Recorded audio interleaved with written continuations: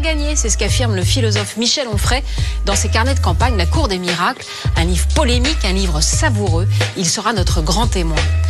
Et Emmanuel Macron, il le connaît bien justement puisqu'il est candidat en marche. Jean-Louis Bourlange vient nous raconter les derniers jours de la campagne et nous parlerons aussi avec lui de ce que doit faire l'Europe face à la menace terroriste. La France doit-elle rompre ses relations diplomatiques avec le Qatar? Le journaliste Christian Chesneau, auteur du récent livre Nos très chers émirs, répondra sur notre plateau. Et puis il y aura aussi bien sûr Alba Ventura pour ses carnets de campagne. Jusqu'ici c'était off. Et la semaine folle de Tanguy Pastureau. Ça vous inspire, Zemmour, hein? Alors, bonsoir messieurs. Bonsoir madame. Messieurs, vous fêtez cette semaine votre anniversaire. Tous les deux. On aurait préféré un air des Stones. Alors regardez, Eric, j'ai même fouillé dans votre agenda. Regardez, c'était le 6 juin. Vous avez tourné votre première émission avec Eric Zemmour. Ça ne nous rajeunit pas. Vous fêtez vos noces d'étain. Ah un oui. matériau métallique malléable mais solide, comme vos 10 ans de vie de couple. Nous vous souhaitons. Ah, regardez, ça c'était il y a 10 ans. Nous vous souhaitons, avec la rédaction, le meilleur à tous les deux pour les 10 ans qui viennent. Je rappelle à tous vos amis et à tous vos ennemis qu'ils peuvent vous y féliciter avec le hashtag ZenPP. Bon allez, assez d'émotions. Je rappelle aussi que nous avons que les 10 ans qui viennent seront les plus durs. sans doute. Zemmour vieillit quand même pas très bien. Non, Ça, on peut pas le cacher. franchement. Alors, euh, je rappelle que nous avons euh, cité 14 fois le général de Gaulle la semaine dernière. Merci Albert de Belgique qui tient les comptes sur Twitter. Et nous avons donc 150 euros dans la tirelire de Gaulle. Allez, messieurs, les chronomètres sont prêts. Ils sont derrière moi. C'est l'heure du match.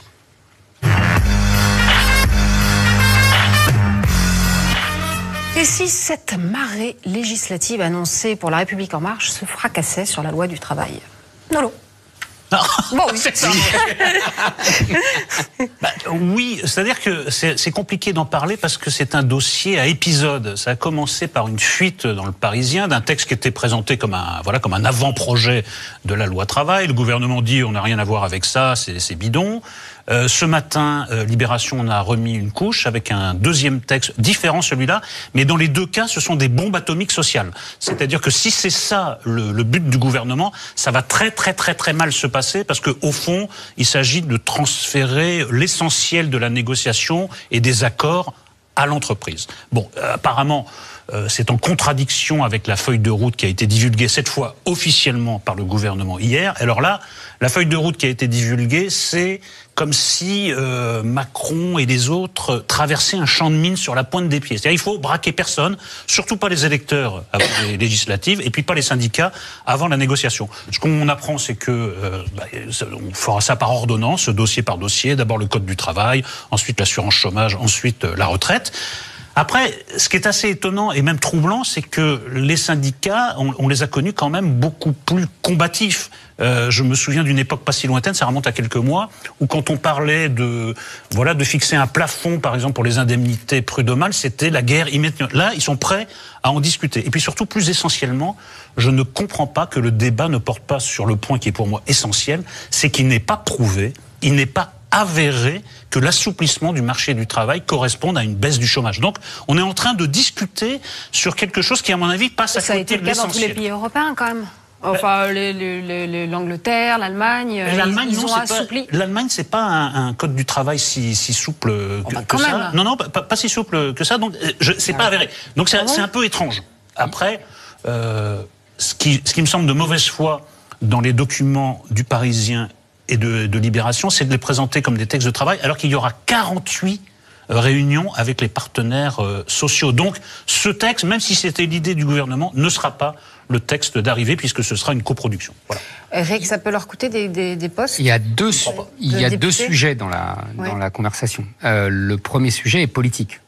C'est-à-dire, votre question, est-ce que ça peut leur coûter? Il y a le souvenir de la TVA sociale euh, en- à la veille du 2007. premier- 2007. Voilà, Borloo avec Fabius, qui avait coûté une cinquantaine de sièges, a-t-on dit, euh, à la droite. Bon. aux législatives. euh, Enfin, ils avaient quand même eu la majorité absolue. Oui, mais ça leur avait coûté des sièges. Oui. Bon, mais d'accord. oui. Oui, ma réponse est là-dedans. Même quand ça, quand, ça, quand, quand, ça coûte des sièges, ils ont quand même la majorité absolue. Il y a une logique de la Ve République. Et ça fait des semaines que je le dis. Et, et, vous avez vu les résultats euh, euh, de, des Français de l'étranger. C'est la guillotine euh, pour des gens que je connais depuis 30 ans qui sont députés depuis 30 ans. Mariani, Marceau. Mais oui, ils sont tous, regardez. incroyable. On va en parler, mais ils sont tous là. Hein. Mais évidemment. Non, mais, Dans de la, façon, euh, non, mais c'est assez incroyable. C'est, en fait, la guillotine. Macron est utilisé par les Français pour guillotiner la classe politique française. C'était très intéressant ce qui se passe. C'est très intéressant. Ça, c'est une première chose. Donc moi, je pense que ça va pas du tout euh, euh, altérer euh, cette parce qu'il y a une vague de fond là. Donc euh, même, je dirais, ça va peut-être retarder la recomposition. C'est-à-dire que s'ils reviennent à 400, ils n'auront plus besoin ni des socialistes qui resteront euh, compatibles, ni des des, des, des, des LR qui, qui seront compatibles mmh. et, et, constructifs. Merci. Et donc du coup, ça, ça même, il y aura même des contre. enfin bon. Mais en tout cas, on va avoir un balayage. Et je pense que ça ne change rien. Maintenant, pour le, la discussion, votre discussion sur le code du travail, je suis plutôt euh, euh, d'accord. Vous n'avez pas la preuve que un assouplissement de... Euh, oui, moi je pense que c'est c'est euh, c'est un, un c'est évidemment un mythe. Euh, c'est, ah bon oui, je pense que c'est une arme que le patronat utilise. Euh, vous savez, moi, j'ai des raisonnements marxistes. Hein. Euh, il y a du chômage. Le chômage permet au patronat d'avoir un rapport de force favorable. Voilà. Le, le, chômage est créé en vérité par la mondialisation et non pas par le code du travail. J'aimerais savoir qu'on distingue, qu'il y ait une étude honnête entre ce qu'a coûté euh, l'entrée de la Chine dans l'OMC et ce que coûte euh, le, le, code du travail. Et alors là, on rigolera. Mais bon, voilà, le patronat a un rapport de force. Macron est l'homme de ce rapport de force. Et donc, euh, il va euh, il va aller au bout Ça, de sa logique. On, on, jugera quand même sur le texte final, mais je partage en effet cette analyse. Après, il y a un troisième sujet qui est assez troublant, c'est le sujet de la psychologie collective. C'est qu'il y a des moments où, quoi que fasse un homme politique, tout est retenu à son discrédit. Et euh, il y a des moments où tout ce que fait un homme politique, un président de la République, est porté à son crédit. C'est-à-dire que Macron, en ce moment, il peut faire ce qu'il veut, les conneries qu'il veut, les fautes. Ça, je pense que même ça n'aura aucune incidence même sur les, les législatives. Et c'est curieux de vivre ces moments mm. où quelqu'un marche sur l'eau ou au contraire quelqu'un est, est, est, noyé. Ah, tu, connais la blague, tu connais la blague qu'on racontait sur Nixon au moment de Watergate? euh, Nixon marche sur l'eau et les journalistes écrivent il sait même pas nager. Ouais. Bien, merci beaucoup. On passe maintenant très rapidement au deuxième débat parce qu'on a un gros programme. Alors, vous en parliez, Eric. Lucky Mac contre-attaque. Lucky Mac, c'est le, le, le, nom que l'économiste Marc Fiorentino a donné à Emmanuel Macron. Et ça lui va plutôt pas mal pour l'instant. Euh, ça, rebondit sur ce que, vous disiez. Le président américain, cette fois, a donc annoncé que son, pays se retirait de l'accord de la, de la lutte contre le réchauffement climatique, les fameux accords de Paris. Et Emmanuel Macron a immédiatement répliqué en anglais dans le texte. Regardez. Wherever we live, whoever we are, we all share the same responsibility. Make our planet great again. Thank you. So, Eric, uh, something to add, uh, maybe? Non, non, je vais le faire en français. Non, mais d'abord, euh, un, un, mot du, du, contexte. Cette décision de sortir de l'accord de Paris, c'est emblématique de Trump et du Trumpisme. Alors, qu'est-ce que c'est que le Trumpisme? Ça consiste à prendre des décisions non pas dans l'intérêt de son pays, ne parlons pas de l'intérêt de la planète, là, on est vraiment dans la, dans la science-fiction, mais pour complaire au cœur de son électorat. D'où la phrase « J'ai été élu pour représenter les habitants de Pittsburgh et non de Paris ». Alors, manque de chance, il se trouve que le maire de Pittsburgh et la population de Pittsburgh ont manifesté contre la décision de Trump. Donc, il, a, non, il a vraiment pas de chance. Clinton. Il reste 55 000 mineurs aux États-Unis, ce qui est quand même pas grand-chose, et Trump est le seul au monde à penser que c'est une filière d'avenir. Bon, voilà, on en est là. Alors la riposte de Macron, elle, a été, du charbon? elle a été en oui, elle a été en deux temps. Euh, il a d'abord fait une, quelque chose d'un peu offensif et respectueux, en disant voilà, je respecte la décision de Trump, je pense que c'est une faute.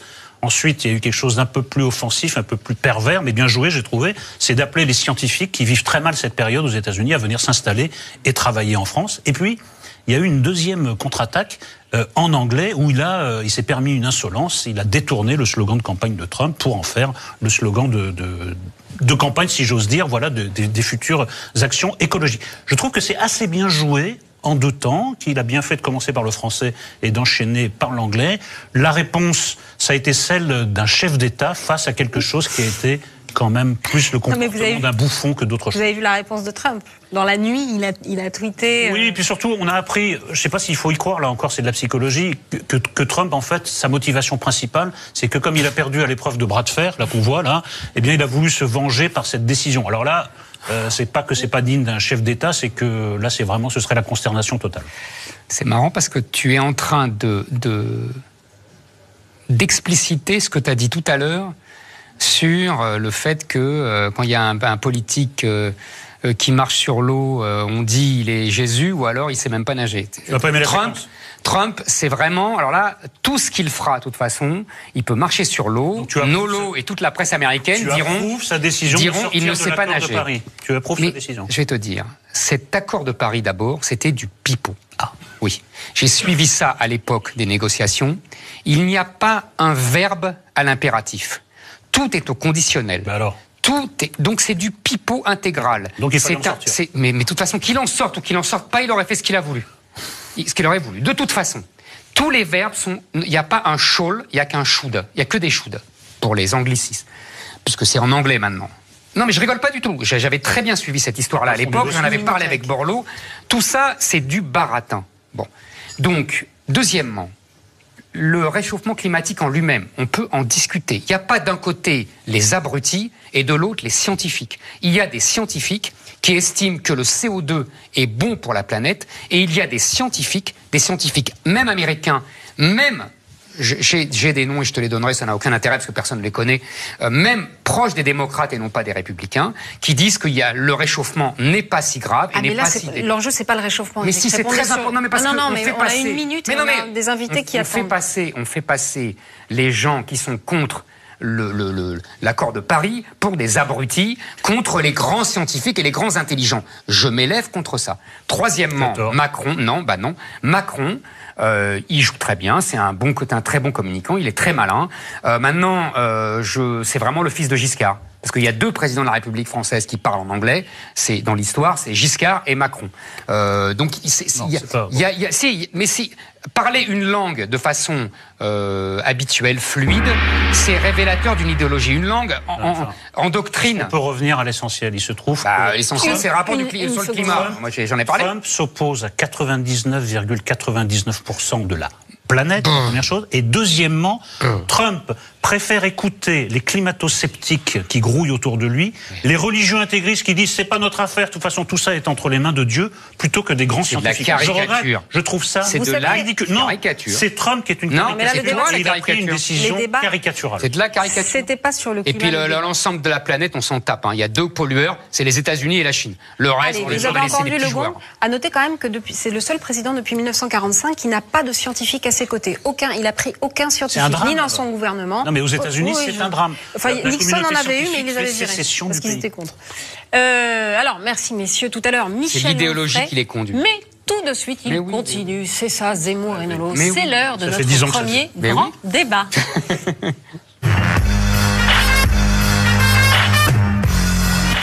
J-4 avant de recevoir euh, euh, Alexis Bachelet et Claude Goasguen qui sont tous deux candidats. Regardez cette question qui fâche de Dimitri Kefelec.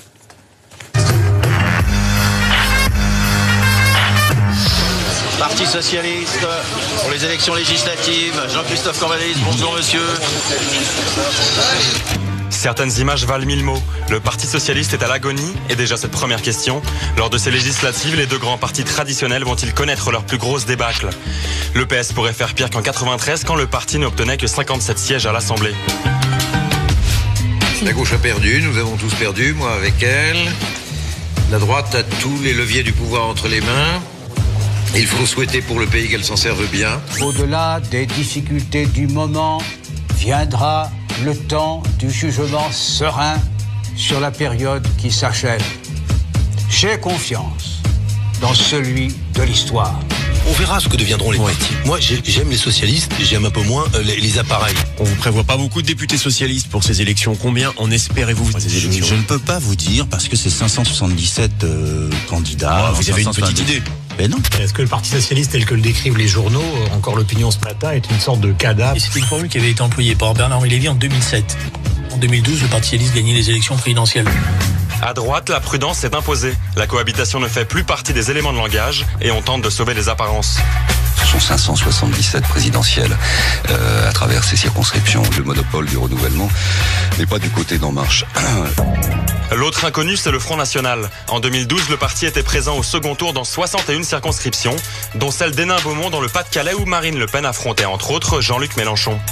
La retraite à 60 ans, c'est la gauche qui l'a acquis en 1980 avec François Mitterrand. Eh ben, de vous voir Mitterrandiste, madame, ça me fait plaisir. Ces pleurnicheries de chochotte comme ça. Oh, c'est méchant, on n'est pas gentil avec moi, etc. On a fait un retraite.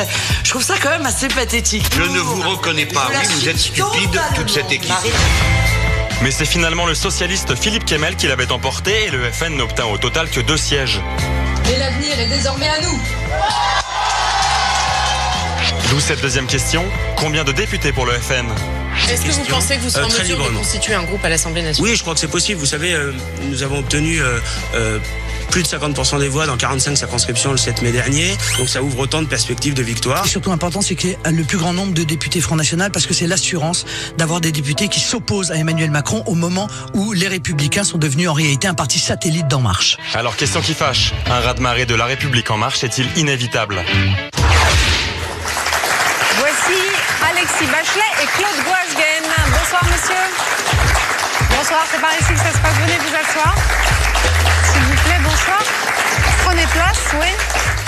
Euh, euh, bonsoir Alexis. Alors, euh, oui. Alors, vous savez que l'émission n'est pas coupée, donc on va y aller. Euh, bonsoir Alexis Bachelet, vous êtes député des Hauts-de-Seine et vous avez été porte-parole de Benoît Hamon. Bonsoir Claude Goesgen, vous êtes député et maire du 16e arrondissement. Alors, messieurs, vous qui êtes les représentants des deux grands partis historiques qui se sont partagés le pouvoir depuis 40 ans, est-ce vraiment la fin d'un monde? Incontestablement, euh, on est euh, au début de quelque chose de différent de ce qu'on a connu euh, pendant ces 40 dernières années, mais qui est le fruit effectivement d'un système politique qui globalement est à bout de souffle. Et c'est assez logique que les deux incarnations de ce système politique payent la note après euh, 40 ans d'une certaine médiocrité, d'une euh, souvent même. Alors là, souvent même, souvent non, mais même tant à la de fin- modestie et de résignation. et, à la fin, et à la fin, comme on, a- on termine sur deux quinquennats, l'un qui incarnait vraiment la droite, qui a déçu les électeurs de droite, et un autre qui incarnait vraiment la gauche et qui a aussi déçu les électeurs de gauche, et bien finalement, il y a un syncrétisme qui s'empare de cette double déception et qui va probablement balayer comme jamais dans l'histoire euh, de notre pays, dans l'histoire récente. Euh, et je pense que c'est peut-être euh, un bien pour un mal, parce qu'il fallait faire le ménage. Si, bah là, vous, vous si vous me prenez bec. mon boulot, alors là, ça va plus du tout. Là. Claude Parce que j'explique depuis moi, j'ai 10 ans, alors là, vous dire prenez tout mon pense, boulot. donc, euh, Claude voilà, Mais c'est sûr de que ça va balayer sûrement parce que l'ambiance est très mauvaise. Est-ce que ça tient à 40 ans? Je suis pas sûr.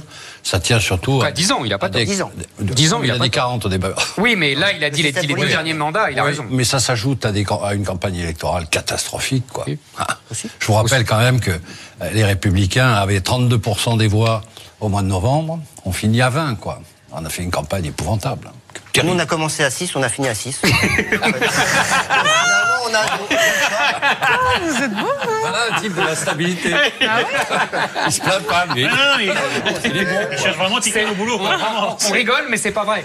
Parce que vous aviez commencé à 12-13, vous étiez à égalité Non, avec c'est pas Mélenchon. tout à fait juste, Si, parce si, qu'avant la primaire, devant non, Mélenchon. avant la primaire, Ouais. tous les sondages nous donnaient en dessous de 10. Ah oui, avant la primaire, mais après la, la- primaire nous a donné un Voilà. peu de C'était vraiment et très, on est très revenu mauvais. à- pour compléter, Oui, quand même, Non, Hollande, Hollande plus Fillon, c'est terrible. hein. C'est terrible. C'est terrible. Et moi, je poserais la Je question. dirais Sarkozy, Hollande et Fillon. Oui, je sais que tu aimes Sarkozy. Mais je Non, mais parce que c'est Sarkozy qui a désespéré l'électorat de droite, sérieusement. Mais Non, mais c'est alors, pas le- franchement, pas euh, Non, mais c'est pas ça. Non, mais c'est global, mais quoi, c'est ça que je veux encore, dire. encore autre chose. Non, mais la fin Hollande, Hollande, Oui, non, mais je suis d'accord, c'est terrible. Non, mais posons la question Terrible. autrement. Puis Macron est intelligent. Ce qui est, il est meilleur que le Il y a des questions dans cette émission. En fait, il y a des questions. Mais vous venez souvent, vous devriez le savoir. Non, mais en fait, comment vous vivez aussi cette euh, situation un peu schizophrène? C'est ce qui se passe en fait est conforme aux institutions de la Ve République. Alors, de manière très très amplifiée. Donc, euh, je ne sais pas comment vous vivez cette euh, situation que vous allez. Vous, vous êtes euh, à, titre Mal. personnel, vous n'êtes pas très en danger, mais votre parti, en revanche, l'est. euh, Oui, mais grandement. c'est sûr que le parti est en danger. En plus, je dois dire que la vieille tradition d'aller à la soupe euh, n'a pas n'a pas été perdue. Hein. Ça, je sais pas si c'est la 5 République, ça doit, ça doit dater d'après l'histoire. Il y a beaucoup de soupe là. Il y a la soupe. il y a les belles assiettes de soupe qui ont été distribuées. Donc ça, ça aide pas. La marmite est énorme. Ça n'aide pas d'avoir des copains qui arrivent dans la circonscription à côté, parce que je voyais qu'il y avait le 17e. Circonscription à côté, on va arriver Jean-Louis Debré, quoi qui va soutenir euh, le candidat qui est contre d'autres candidats. Mais, mais, vous en avez moins que nous quand même. Oui. Je pense que nous, on a la palme des gens qui ah, sont et socialistes et majorité présidentielle. Des fois, on ne sait même plus d'ailleurs. Euh, ça devient. C'est un folklore. non, mais c'est vrai. c'est vraiment à se laisser tomber par terre. Ah, vous le prenez non, mais parce, que, non, parce qu'il se pose un peu en victime. mais, nous, on est vraiment encore plus euh, dans le fond du trou que. Vous êtes digne des aristocrates qui rigolaient quand ils allaient à l'échafaud en 1793. Oui, mais moi, je suis moins aristocrate que lui quand même. Mais c'est un peu ça. Lui, il est quand même maire du 16e. Donc... On en prend plein le nez. Non, mais clarifions quand même vos situations personnelles. Commençons peut-être par vous, M. Goazian. Dans votre parti, en fait, il y a trois camps. Il y a ceux qui sont ralliés, il y a ceux qui se disent constructifs, et puis il y a une troisième fraction qui dit là, c'est une opposition vraiment dure. Vous, non, mais vous, vous êtes où? Où vous vous situez? pas, pas, dans les ralliés, ça c'est clair. ni dans les constructifs. Oh, constructif. Moi j'ai entendu Raffarin, il faut dire que Raffarin dit tout l'inverse de tout régulièrement. Ouais. Donc il est constructif à sa manière. Il a toujours été constructif. non mais vous, monsieur Gazin, Non, plutôt dans ce. Moi, je n'ai pas envie, par exemple, le droit du travail, si je suis député, je, je vote. À condition qu'il ne nous fasse pas le même coup qu'avec le 49.3, c'est-à-dire qu'il ne déshabille pas la loi une fois qu'elle arrive à l'Assemblée nationale. Bon. Euh, ordonnance, mais c'est pareil, il y a l'habilitation. Mais je voterai l'habilitation. Sur l'école, ah bon, vous êtes connaisseur. Vous êtes de oui, mais Blanquer, il aurait pu être ministre de droite. Ben, normal, ça. il était recteur d'académie comme moi. Non, mais c'est vrai. Collègue. du coup, on a compris qu'à droite, il n'y a plus d'opposition. Non, mais de toute façon, attendez, attendez, attendez. Attendez, non, sur lesquels ça va pas du tout. Sécurité, terrorisme. Yet. Alors là, ils ne comprennent rien. Et là, le Parti socialiste. Vous allez la voter, la task force C'est rien, la task force. Ça veut dire quoi? Ça veut dire qu'on va rassembler des types autour d'une table qui vont discuter. Euh, bah, qui vont coordonner euh, les différents services. C'est la loi qu'il faut appliquer. Le livre 4 du Code pénal Franchement, le livre 4 du Code pénal, c'est une belle répression qui calme les ardeurs. Euh, de mettre en place quand même un, contrôle régulier sur les fichiers S, ça suffit. Hein. on va avoir un attentat, vous savez, dans les jours qui viennent, là, parce qu'il y a les élections législatives, et que moi j'ai étudié dans les commissions d'enquête Daesh. Ils sont pas idiots, hein. Ils font ça en Angleterre, dans des endroits névralgiques, la veille des élections législatives. Comme on a des élections législatives, à mon avis, ce qui s'est passé à Notre-Dame n'est probablement pas un hasard. Donc ça, ils y sont pas. Alors là, la gauche leur a donné le virus de voter des lois qu'on n'applique pas. Eh ben moi, je veux qu'on les applique. C'est le premier élément. Et le deuxième élément, les impôts, ils sont gentils. Moi, je suis un libéral, mais les impôts, il y en a trop là.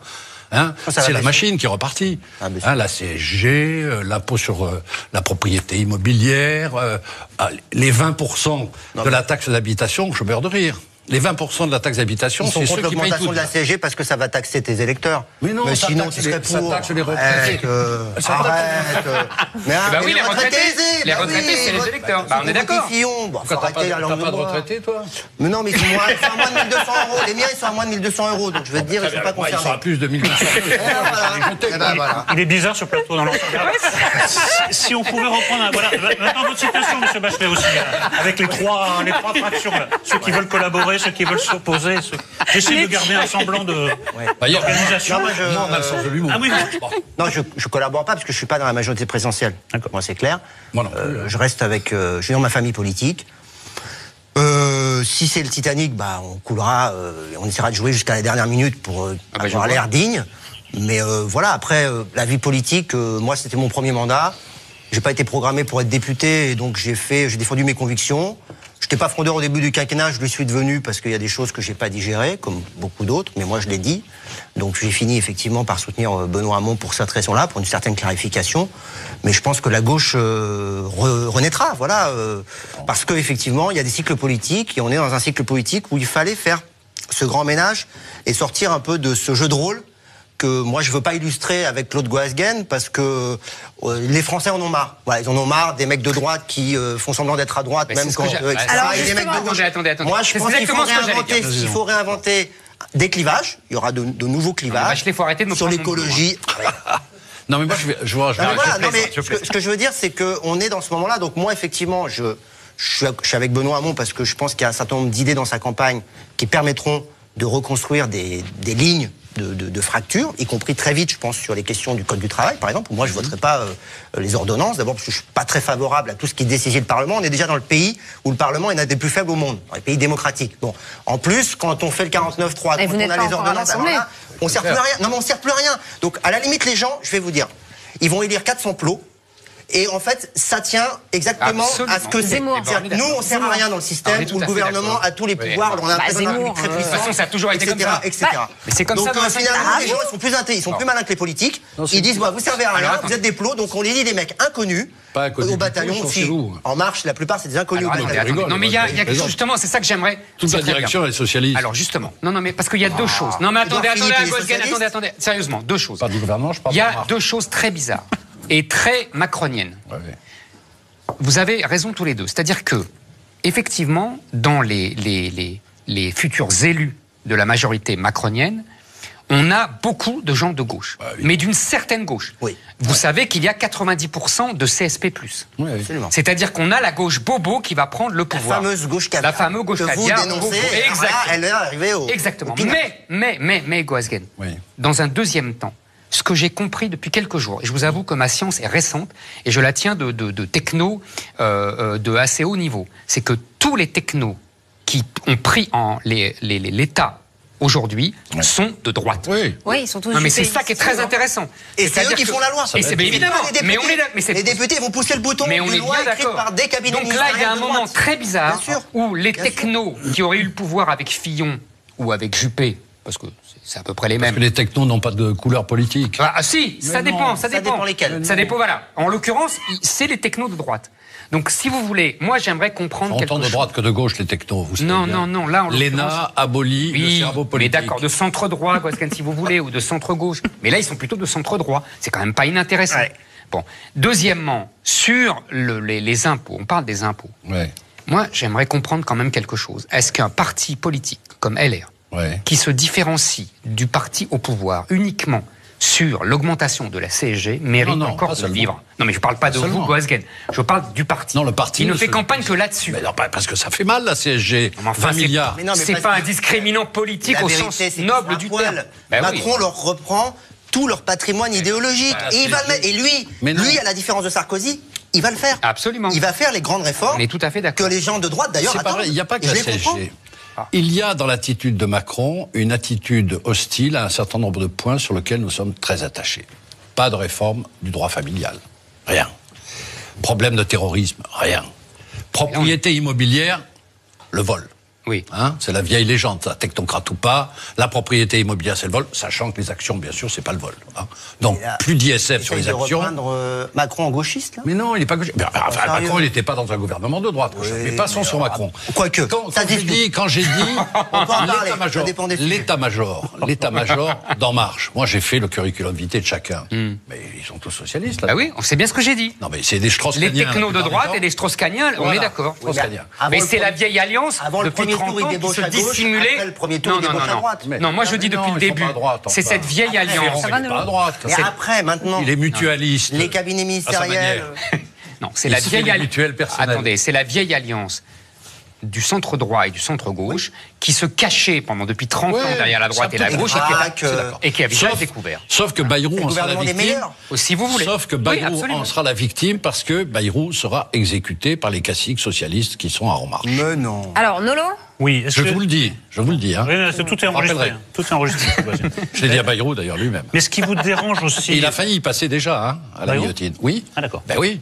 C'est la, crise qu'il a fait euh, trois jours avant la composition du gouvernement. Bah, si tous les guillotinés finissaient ministres, euh, ben oui, c'est bah, pas mal hein, ben comme, euh, pour un guillotiné, je trouve. Enfin. Non, mais Bayrou a failli partir. D'accord. Ils ont failli en venir aux mains avec Ferrand, tout le monde le sait. enfin, bon. Il est là, il est ministre de Eh bien, moi, je vous dis que pendant l'investiture, pendant la question des investitures, foutront dehors les gens du MoDem. On va aborder un autre point. Est-ce que ce qui vous dérange aussi dans les mesures qui sont annoncées, c'est pas quelque chose qui vous concerne très directement, à la fois la limitation des mandats dans le temps et dans le nombre Ou je dois dire que d'après nos statistiques, vous êtes particulièrement bien concerné. Vous êtes, vous êtes député depuis quand oh, je, cherche mon cinquième mandat. ah, Alors, Regardez. Quand les gens, mais oui, transition habile, vous faites la une de, Marianne. C'est le centre d'hébergement, ça. Est-ce que vous comprenez ce désir de renouvellement? Je vais sur la question d'Éric. Voilà, vous faites la une de Marianne. C'est député non, je vous dégager. On va avoir, comme le, dit mon voisin, on va avoir des députés d'abord qui sont souvent des deuxièmes couteaux socialistes et qui eux sont très bien formés. Vous avez du chef de cabinet et. Cela, je passe parce que ce sont des professionnels de la politique qui viennent. Faut pas me raconter l'histoire. Pour la partie qui est censé être sécurité, euh, société civile, j'ai des doutes.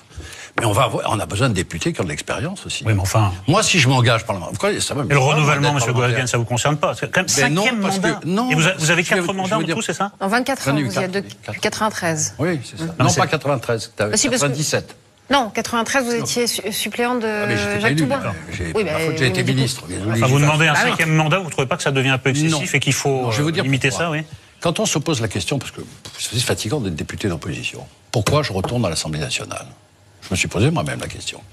Parce qu'il y a deux, trois idées sur lesquelles j'ai pas envie de céder. Vous voulez que je les donne? Hmm. Moi, je suis là pour défendre, par exemple, les chrétiens d'Orient. Je suis tout seul à le faire. Je défends Israël. Je sais que ça ne plaît pas à Zemmour. Oh, pourquoi? Je suis un sioniste convaincu. Sur le terrorisme, je suis un spécialiste. Je, suis juriste quand même. J'ai un métier. Moi aussi, je suis euh, société, civile. J'étais professeur de la faculté de droit, recteur d'académie, je suis avocat. Le droit pénal, je connais. Et ce pays a besoin de gens qui connaissent les sujets. Et vous êtes le seul. Oh, ben on n'est pas nombreux. Hein. Ah ouais. ah, ben, qualité, qualité, juridique. Non, monsieur Pascal, on est inquiet. Hein. Faut, ah, faut pas ben, qu'il vous arrive avez, quelque ben, chose. Vous avez raison sinon, la France C'est du pipeau. Je vous fais pas dire. c'est du pipeau. Sur les trois sujets qu'il a cités, il y a des gens bien meilleurs que lui. Ah oui, Et peut-être qui... même. Je peux t'en citer sur certains des sujets. Vas-y, dis-moi. Bah, je sais pas, sur le terrorisme, en Pietra Sainta. Oh, mais si, il est bien meilleur que ah, toi. Et en plus, lui, c'était son premier mandat, donc il a encore un peu de fantastique. Non, mais là-dessus, non, mais ce que Guasgan n'a pas compris, c'est que si Macron a gagné, c'est grâce à des gens comme lui. C'est grâce aux gens qui sont dans le système, depuis Mathusalem, oui. qui continuent à s'accrocher, qui ont cumulé les mandats, qui se sont goinfrés.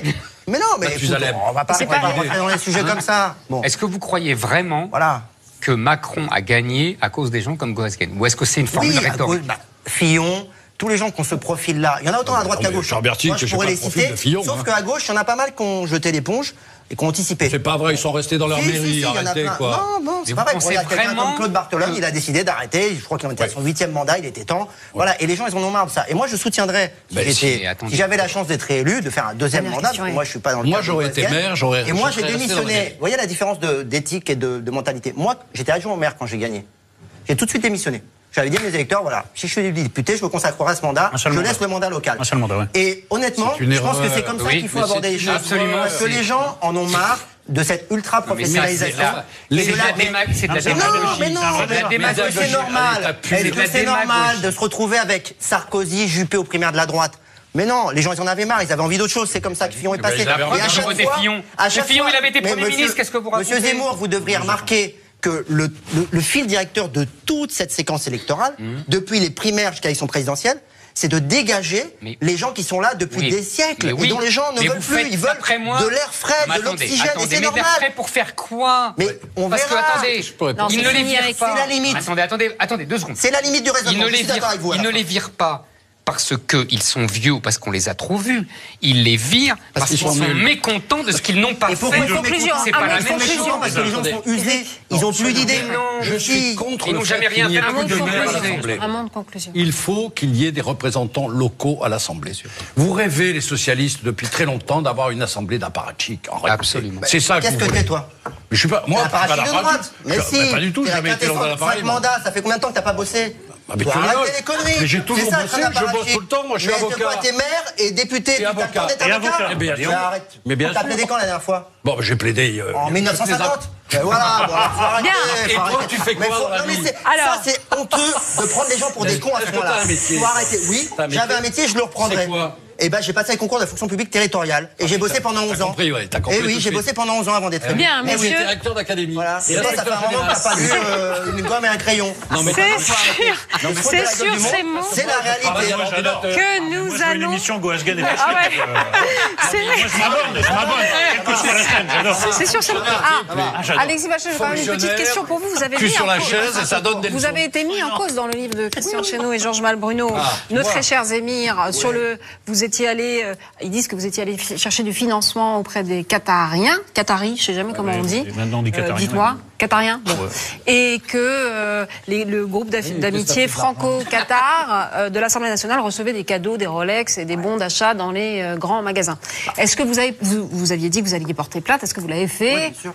Vous avez bah, déjà, alors, si je devais le refaire, je pense que euh, le plus gros emmerde que j'ai eu euh, en termes de diffamation, de rumeurs, c'est d'avoir mis le pied dans ce groupe d'amitié. Si c'était à faire, franchement, j'irais pas. Je suis dans plein de groupes d'amitié. Moi, je savais pas trop comment ça fonctionnait. Je suis dans une dizaine de groupes d'amitié. Parce qu'ils ont moins d'argent. Euh, oui, mais moi, ça m'intéressait. Je suis supporter du PSG. Donc, je m'étais dit, ah. ça peut être intéressant de savoir ce qui se ah, passe. C'est un lien, c'est quelque chose qui vous lie, Non, mais c'était ma vraie ah motivation, ça m'intéressait. Allez. Bon, après, effectivement, il y a eu un tas de bouquins qui sont sortis, il y a eu un tas de name dropping dont le mien, mais je sais d'où ça vient, c'est un règlement de compte. J'ai porté plainte parce qu'on m'accuse d'avoir demandé de l'argent pour financer une campagne euh, électorale. Gouagan sait comment marche une campagne électorale. Il faut à peu près 40 000 euros. On fait un prêt à la banque et on finance sa campagne. Donc c'est une accusation bidon. Ah et effectivement, chez nous et Malbruno iront au tribunal parce que effectivement c'est une atteinte assez grave à la probité et je trouve ça dégueulasse de balancer des noms pour faire du name dropping parce qu'il fallait bien que le bouquin qui dit que tout le monde est acheté, bah, il fallait bien balancer. Oui, c'est ça les, députés qui ont que ça à foutre. Merci messieurs d'être venus sur ce plateau à venir. Michel Onfray qui va lui aussi nous parler politique avec ses carnets de campagne et puis il y aura bien sûr Tanguy Passion, mais tout de suite c'est la pub. c'est le plateau de Je rappelle que vous pouvez réagir avec le hashtag ZenPP. Il a trempé sa plume dans l'acide, troqué le temps d'un livre, son costume de philosophe pour celui de chroniqueur politique et revendique une lointaine filiation avec les moralistes du XVIIe siècle, La Rochefoucauld ou La Bruyère. Michel Onfray revient avec La Cour des miracles, ses carnets de campagne de l'élection présidentielle. Avant de recevoir l'impétueux philosophe, regardez cette question qui fâche. Plusieurs intellectuels, et pas des moindres, s'en sont pris récemment à Emmanuel Macron. Qui sont-ils et pourquoi tant de haine Par Gaël Atlan? Alain Finkielkraut, Emmanuel Todd, Alain Badiou, Régis Debré ont désormais une nouvelle étiquette, celle d'intellectuel anti-Macron. Sur cette liste, il faut également ajouter Michel Onfray. Dans son dernier ouvrage, La Cour des miracles, le philosophe en remet une épaisse couche en critiquant sévèrement le nouveau président, dont la jeunesse ne serait qu'illusion. Mais ces intellectuels anti-Macron, que reprochent-ils exactement au nouveau président? Ils sont déclinistes en fait. Ils sont sur la défensive. Ils pensent que l'évolution de la société est très négative, et donc il faut résister, il faut, et, et, qu'on doit, pas toujours, mais se référer aux anciennes valeurs, à l'ancienne vision de la République, à l'ancienne vision de la France, à l'ancienne vision de la culture. Les défis auxquels la France est confrontée aujourd'hui sont d'ordre civilisationnel. Face à cette désintégration, Emmanuel Macron, malheureusement, n'a rien à dire. Macron euh, vient d'un monde où The Pursuit of Happiness, la poursuite du bonheur, doit être inscrit dans la Constitution. C'est une idée qui fait, je dirais, très, très postmoderne. Nous ne céderons rien à l'amour du déclin ou de la défaite. Multiculturaliste pour les uns, moderniste pour les autres, mais c'est aussi et surtout la défense du libéralisme d'Emmanuel Macron qui irrite ses intellectuels. À leurs yeux, le nouveau président serait tour à tour une poupée gonflable du capital pour Michel Onfray, un galoricain selon Régis Debray ou encore une marionnette soumise à la servitude maastrichtienne pour Emmanuel Todd. Mais pourquoi une telle crispation? Craignent-ils qu'Emmanuel Macron fasse du libéralisme une nouvelle doxa française? C'est par la liberté individuelle qu'on émancipe et qu'on recrée les conditions d'une forme d'égalité réelle et matérielle. Trop souvent, on confond le libéralisme avec le capitalisme. Ils sont confus dans leur certitude que tout va mal, que ça va aller de mal en pis et qu'il faut se rétracter contre le cours des choses. Macron les conforte dans leur idée. Le conservateur, le maoïste, l'anti-américain, le libertaire, ensemble dans l'anti-macronisme et cette question qui fâche. Emmanuel Macron a-t-il bousculé aussi les clivages entre les intellectuels? Voici Michel Onfray. Bonsoir Michel Onfray. Par ici. Prenez place. Bonsoir. Quelle joie de vous voir. Vous publiez encore un livre, cette fois vos carnets de campagne. Il sort aujourd'hui même, La Cour des miracles aux éditions de l'Observatoire. Alors, Victor Hugo a donné une définition, une grande définition de la Cour des miracles, et on en a retenu ces mots. C'était comme un nouveau monde inconnu, inouï, difforme, reptile, fourmillant, fantastique. Éric Nolot n'a pas eu peur de s'y aventurer. Voici son apostrophe. Du 24 juillet 2016, date de la première de vos chroniques ici réunies, au 7 mai dernier, euh, où vous livrez un texte de conclusion qui n'en est pas une, précisez-vous. Vous avez donc chaussé des lunettes voltairiennes pour observer la campagne présidentielle. Il s'agit, au rebours des lunettes de Rousseau, expliquez-vous, que le souci du monde l'emporte sur la passion des idées qui disent le monde. Alors vous indiquez d'emblée que le lecteur trouvera dans ces pages, je vous cite, de la mauvaise foi et de la polémique, du trait outrancier et de la moquerie, de la satire et du colibé. Alors, euh, programme respecté à la lettre, on se croirait un samedi soir au bowling avec vous dans le rôle de la boule et l'ensemble de notre personnel politique dans le rôle des quilles. Sous votre plume, Juppé est un gaulliste en peau de lapin, Mélenchon c'est Robespierre le petit, Macron c'est Antoine Pinet envieux et la poupée gonflable du capital, le PC de Pierre Laurent s'offre à la France insoumise comme une fille des rues, Hamon est un guévariste de cartes postales, Payon un désagrégé de philo et un idiot utile du négationnisme, Valls un traître aux yeux de tous, et Marine Le Pen la fille poissarde d'un père poisseux, inventaire non exhaustif. Bref, ça vole dans tous les sens, c'est la farandole des bourpifs, le miracle de la multiplication des coups de boule. Vous êtes d'évidence un fervent partisan du cumul des mandales. Ça dynamite, ça disperse, ça ventile, ça éparpille façon puzzle. Et reconnaissons-le, ça réjouit souvent. Alors au risque parfois que votre tempérament bagarreur vous fige dans la posture du père tape dur. Ni round d'observation dans ce combat de boxe, ni round tout court. Vous frappez sans répit ni relâche. Votre ouvrage aurait sans doute gagné à quelques changements de rythme et de registre, à ce que vous soyez moins puncher et par endroits plus philosophe au risque aussi de quelques dispensables facilités, selon moi en tout cas. Était-il par exemple utile d'intituler une de vos chroniques en plein dans le Fillon, sachant qu'il faut prononcer Fillon, Fion, évidemment, au risque enfin que l'ubris du polémiste vous fasse franchir quelques lignes blanches lorsque vous écrivez sans aucun argument à l'appui, en tout cas pas beaucoup, que Laurent Geoffrin, le patron de Libération, prend ses ordres chez Cambadélis, ou, plus étonnant, que vous doutez de l'honnêteté des résultats du référendum sur Maastricht en 1992. Alors dans les 80 et quelques brefs chapitres de cette cour des miracles, on ne peut que saluer votre énergique persévérance à dénoncer les contradictions, fustiger les palinodies et arracher les faunées rhétoriques, même si certaines de vos prises de position appellent la discussion et la contradiction. Nous le vérifierons dans quelques instants avec Éric Zemmour. Mais pour commencer, une question qui concerne une nouvelle fois votre revue de voter. Si je devais résumer d'une phrase votre livre, je dirais que selon vous, pour parodier un célèbre aphorisme footballistique, la présidentielle est un jeu qui se joue à 11 et c'est Maastricht qui gagne à la fin. En ce cas, pourquoi, au moins au premier tour, ne pas avoir accordé votre suffrage à un anti-Maastricht, d'autant que vous saluez la performance des petits candidats lors du débat à 11 Parce que ça sert à rien.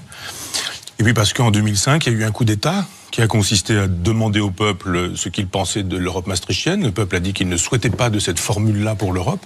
Une Europe sociale et pas une Europe libérale, et qu'on lui a dit, eh bien tant pis, si vous n'êtes pas d'accord, vous aurez quand même. Donc à partir de ce moment-là, je me suis dit à quoi bon voter, puisque de toute façon, au bout du compte, tout est fait pour que nous en arrivions à un candidat de l'Europe maastrichtienne en face de Marine Le Pen. On aura tout fait pour que Marine Le Pen soit au second tour. Et puis entre les deux tours, on nous dira que c'est Oradour-sur-Glane et que c'est la Shoah et que finalement nous n'aurons le choix qu'entre le général de Gaulle et Adolf Hitler. Donc évidemment, on se retrouve avec des plébiscites au lieu de, d'élections, et je ne veux pas contribuer à cette parodie d'élections parce que finalement, on sait très bien que les gens qui veulent d'une autre Europe n'auront pas la loi. Comment se fait-il que des gens comme Marine Le Pen, qui pèsent lourd d'un point de vue électoral, et Jean-Luc Mélenchon, qui pèsent lourd d'un point de vue électoral, aient des difficultés à trouver 500 signatures, quand deux ou trois sont capables de les trouver, alors que leur programme consiste à aller coloniser la Lune ou euh, des, des, choses tout aussi ridicules que celles-ci, eux, ils n'ont pas de problème. Les Asselineaux, les, les Artaud, les Cheminades, enfin tous ces gens-là, ils ont trouvé 500 signatures. Comment se fait-il? Pourquoi est-ce qu'on retrouve un candidat de la ruralité qui est une carte postale de la ruralité, pour ne pas dire une caricature de la ruralité? Euh, on nous dit que euh, Jean Lassalle, qui, euh, qui a le bel accent comme il faut, et qui sort de sa campagne, et qui est très extravagant, et qui est formidable pour porter l'idée que Maastricht pourrait ne pas faire la loi, que la ruralité ça existe, que la campagne ça existe également. Est-ce qu'on a vraiment besoin d'un candidat comme ça? Hmm. Il est fort sympathique, mais très folklorique. Donc je dis effectivement, ne me demandez pas de souscrire peu ou prou à cette, euh, à cette euh, mascarade, parce que de toute façon, moi j'ai parié quelques caisses de champagne, j'attends qu'on me les donne, mais j'ai dit depuis six ou sept mois, euh, nous aurons un candidat qui défendra l'Europe de Maastricht. Alors ça aurait pu être Fillon, c'est aujourd'hui Macron, en fait, c'est bien Macron. Mais alors deux choses, Michel Onfray. D'abord, ça revient quand même à mettre les 11 candidats dans le même sac, ce qui est quand même un peu injuste pour certains d'entre eux, même si j'entends ce que vous dites sur eux. Et la deuxième chose, vous abordez une des contradictions quand même de, de votre livre, notamment par rapport à Fillon. Fillon, vous lui consacrez un chapitre extrêmement euh, sévère, avec tout, euh, voilà, il s'est rendu coupable, ou en tout cas dont on le croit coupable.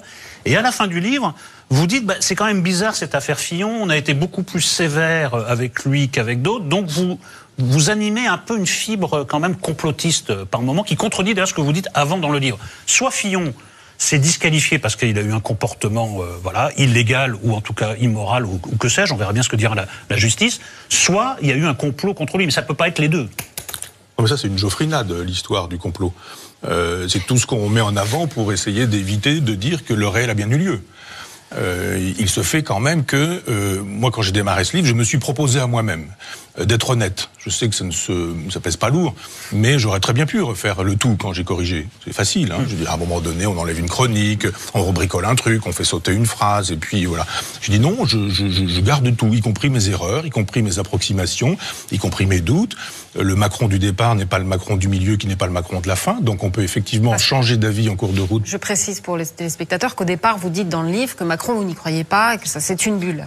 Je dis que c'est une bulle qui explosera et je pose une question. Je dis est-ce que ce sera avant ou après l'élection Donc maintenant on connaît la réponse, ce sera après. Non mais sur Fillon. Donc sur Fillon, cette histoire de où, vous, vous prononcez pas le mot complot, mais il y a quelque chose de. Non, non, non je dis pas. Je dis pas que c'est un complot. Je dis simplement que il y a eu d'autres affaires concernant Jean-Luc Mélenchon, concernant pas cette amplitude. Bah, c'est vous qui décidez que l'amplitude c'est celle-là et pas une autre. Bah, il me semble que Fillon coche un nombre de cases qui est inégalé par rapport aux autres affaires que vous évoquez, il me semble. C'est vous qui avez décidé que. Moi, je pense que la loi, c'est la loi, et que quand on contrevient à la loi, on contrevient à la loi, et que quiconque contrevient à la loi devrait être traité pareillement.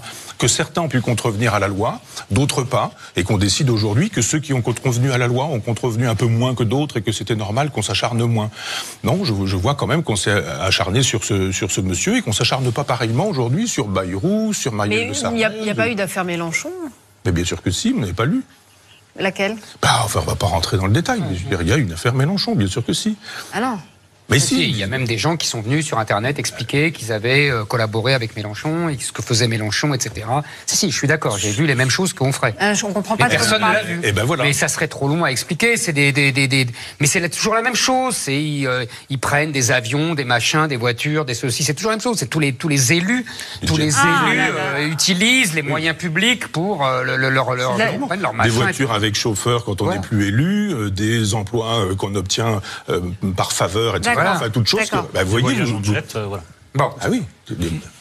Moi, je voudrais euh, d'abord euh, bienvenue au club des chroniqueurs politiques. Ça me fait plaisir d'avoir un collègue aussi prestigieux, euh, même si je trouve que euh, vous vous méprenez sur vos références, parce que je trouve que vos chroniques ne ressemblent pas à, à, aux, aux, moralistes du XVIIe siècle, La Bruyère, La Rochefoucauld, qui étaient plus psychologisantes et plus, vous voyez. en revanche, ça ressemble beaucoup, et moi, j'aime bien et je m'en inspire souvent aussi, aux textes de, du XXe siècle. D'ailleurs, même fin du 19e, début du 20e. Les chroniques politiques, quand elles sont à la fois littéraires et euh, polémiques. Euh, je vous dis ça parce que moi-même j'aime en relire, euh, j'aime lire Léon Blois, j'aime lire Bainville, j'aime lire, mais à gauche aussi ils sont, ils sont souvent euh, aussi très talentueux. Mirbeau. Exactement, et je trouve que ça, ça, ça ressemble plus à ça.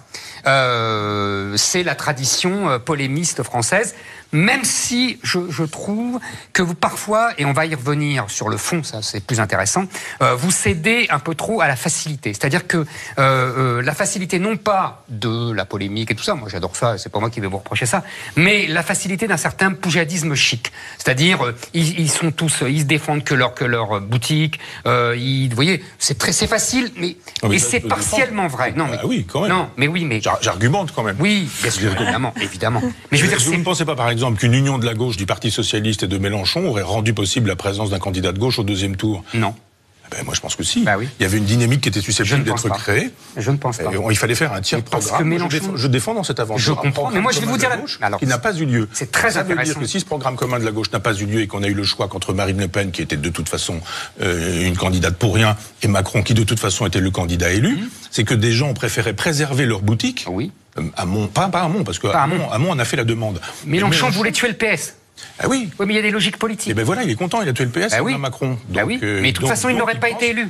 Donc il ah, ça, je, enfin, je, un, programme qui aurait été un, programme commun d'une gauche qui n'aurait donc pas été le programme de Mélenchon. C'est drôle ce que j'ai compris. C'est drôle ce que vous dites ah parce que moi, j'allais vous dire à l'inverse. C'est-à-dire que là, quand vous dites le système a organisé, euh, il fallait qu'un candidat maastrichtien gagne, etc. Très bien. Je, vous suis dans les grandes lignes. Sauf qu'il y a une limite à votre raisonnement. Il y a une double limite.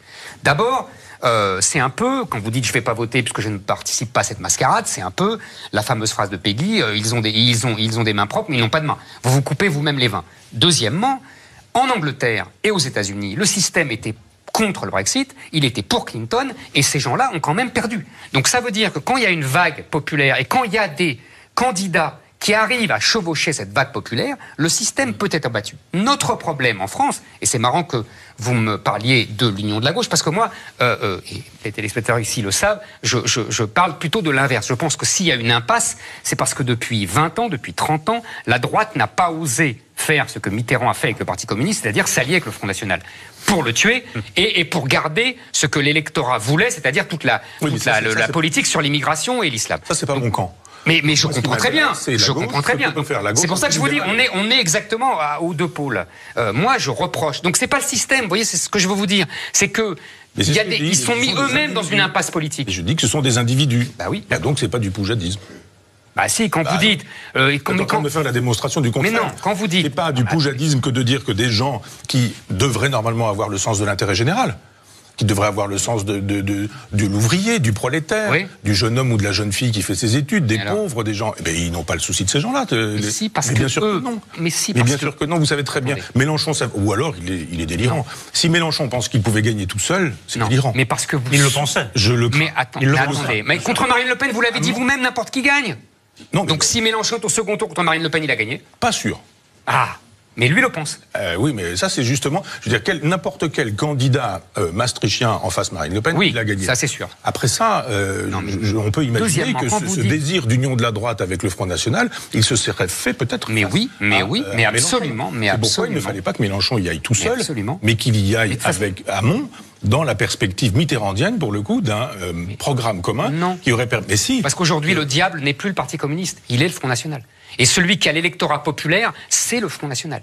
Et quand vous dites qu'ils sont des individus, ce sont des vous sous-estimez. Non, mais des vases communicants. Non, c'est pas des vases communicants. des gens qui ont voté pour le Front National auraient voté pour une union de la gauche anti C'est faux. Mais vous vous trompez. Mais non, mais non. Chez Marine mais non. Qui n'y sont que par souverainisme. C'est faux. Vous vous euh, trompez. Ça, vous faites la même erreur que les Mélenchonistes. C'est-à-dire que vous pensez que l'électorat populaire du Front National peut voter pour Mélenchon. C'est faux. Parce que le Front, le peuple, attendez. Non, non, excusez-moi. 20% mais c'est mais non, mais non, mais c'est faux. Excusez-moi, l'électorat du, du, Front National, l'électorat populaire du Front National, il vote Front National, pas pour le social. Vous faites la même erreur que Philippot. Il vote pour l'immigration. Et l'électorat. Je sais que c'est que l'électorat du Front National, mais je connais des électeurs du Front National. J'en connais, moi, dans mon village, avec qui je parle. Et leurs logiques ne sont pas aussi simples que ça. Moi, j'ai un copain d'école qui votait, euh, qui m'a dit, j'aurais souhaité voter pour François Hollande, mais il se représente pas. Je lui ai dit, alors tu vas faire quoi? Il me dit, donc je vais voter Marine Le Pen. Donc, ça rentre dans quelle catégorie sociologique ça? Mais vous avez Mais ça existe. Non mais attends, Donc, ça veut dire vous, vous allez prendre des individus. Non, non, il faut, il faut, il y a une logique, il y a une logique collective. Il y a juste des gens qui votent pour Marine Le Pen, non pas par adhésion à ses idées, mais qui veulent simplement en finir avec tout ce, tout ce système-là, et qui sont des gens qui sont prêts à en finir avec ce système-là, avec d'autres candidats. Vous ça prenez pas du tout. Vous prenez des individus pour des masses. Des gens qui votent Poutou et Artaud au premier tour, qui votent Marine Le Pen au second tour, ça existe. Oui, mais ça c'est 0,5% Je ne suis pas sûr que ce soit euh, si, euh, vous mélangez l'individu avec les grandes masses. on voit bien les grandes masses d'où elles viennent. On voit bien la géographie les électorale. Les masses sont constituées que d'individus qui ne pensent pas comme les sociologues disent qu'ils pensent. C'est beaucoup plus subtil, beaucoup plus compliqué. On voit bien qu'il y a des dynamiques. Mais si, regardez, là, on nous parle d'un raz de marée euh, Bah euh, pour Macron. Qu'est-ce qui s'est passé entre deux? Voilà quelqu'un qui était minoritaire au premier tour, qui devient majoritaire au deuxième tour. Ça s'appelle la logique de la Cinquième République. Eh ben pas seulement. Bah si. Ben non, parce que Bah si, ça a toujours existé. Des, des médias Depuis 80, qui, c'est toujours qui, la même 48 heures après son élection, étaient déjà en train de nous dire qu'il y avait un raz de marée prévu euh, pour parce les que ça s'est toujours fait. Pas sûr. Sur Mitterrand a eu 180. Oui, mais c'est pas euh, chaque élection, chaque élection a son. Mais non, mais non, il y a des logiques politiques. Nolo, vous vouliez. euh, Oui, oui, je voulais intervenir. Parce que, Ben, parce que j'aime beaucoup dialoguer avec Michel Onfray, mais il y a une, il y a une- une difficulté qui est apparue, c'est-à-dire que dans le livre, vous expliquez que quiconque, euh, comme- comment dire, non pas nie euh, l'existence du système, mais minimise euh, son, son existence, en fait, est complice du système, et particulièrement emblématique du système, et pareil pour le complot, c'est-à-dire qu'il fait partie du, du complot. Quoi. Moi, j'utilise pas le mot complot. Non, non, On l'utilise contre je- moi. Absolument. Mais ça, il a, il a raison, moi, on fait le même coup. Alors ça, alors là, là-dessus, il a raison. nouvel argument de ceux qui n'ont pas d'argument. bah, c'est même, dans- pose une c'est question. même- c'est même dans D'accord. l'Obs, dans l'interview que vous avez Bah oui, donnée, la oui, tentation complotiste. Bah oui. Non, mais maintenant, dès qu'on veut analyser quelque chose, on est complotiste. Je connais bien ça, alors vraiment. Je voudrais votre avis. Vous consacrez évidemment un texte au, au débat euh, d'entre-deux tours, à la performance assez euh, pathétique, assez piteuse, assez inquiétante même de, de, de Marine Le Pen.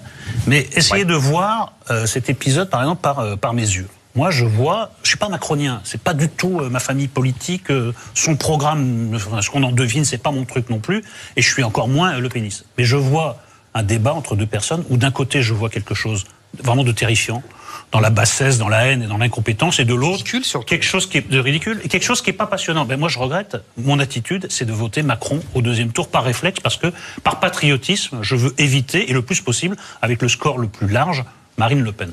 Alors, je suis complice du système. Non, mais j'ai jamais dit ça. Je n'ai jamais euh, jeté l'anathème sur ceux qui. avaient Non, mais vous dites que tout est organisé pour que ça se termine comme ça. Bah oui. Une, une représentante Oui, d'extrême droite oui. caricaturale contre un représentant de Maastricht. Absolument. Mais il y a des gens que ça ne gêne pas de voter Macron parce qu'ils défendent depuis des années une gauche libérale. Donc euh, c'est pas un gros effort fait. pour eux. Oui. C'est pas un gros Je effort. parle du reste, moi, c'est pas mon truc, Non, la non, mais je, moi je suis antilibéral de gauche, antilibéral. Euh, pour ceux qui sont des, des- des libéraux de gauche et des libéraux de droite, ça ne pose aucun problème évidemment. de voter pour Macron. Ah, évidemment, c'est leur candidat. Ben voilà, et qu'ils fassent le boulot. C'est exactement la même chose à l'époque où Chirac s'est retrouvé en face de Le Pen. Je dis mais que ces gens qui finalement défendent les mêmes positions à droite et à gauche euh, aillent voter pour Chirac, ça ne les gênera pas. Alors, on est dans, dans la configuration euh, idéale. Vous me diriez, voilà, tout le monde a voté. On est à un point d'équilibre absolu. Il manque plus qu'une voix, c'est la vôtre. Vous allez faire quoi? Je ne serai pas de ceux qui diraient je reste chez moi, je ne vais pas voter. J'irai voter Macron. On est d'accord hein Je dis simplement que euh, il faut il faut penser le réel tel qu'il est, pas la fiction. La fiction, c'était pas que Marine Le Pen risquait de gagner. C'était clair qu'elle ne gagnerait pas. Absolument, ça, je suis L'enjeu, c'était Macron doit-il gagner avec 80%, avec 60% J'ai dit dans des enjeux comme cela, je n'y vais pas. Dans un enjeu purement hypothétique du genre, voilà, il, il- il ne manque plus qu'une voix, c'est vous qui allez faire la différence. Je vous le dis clairement, j'aurais voté Macron, c'est clair.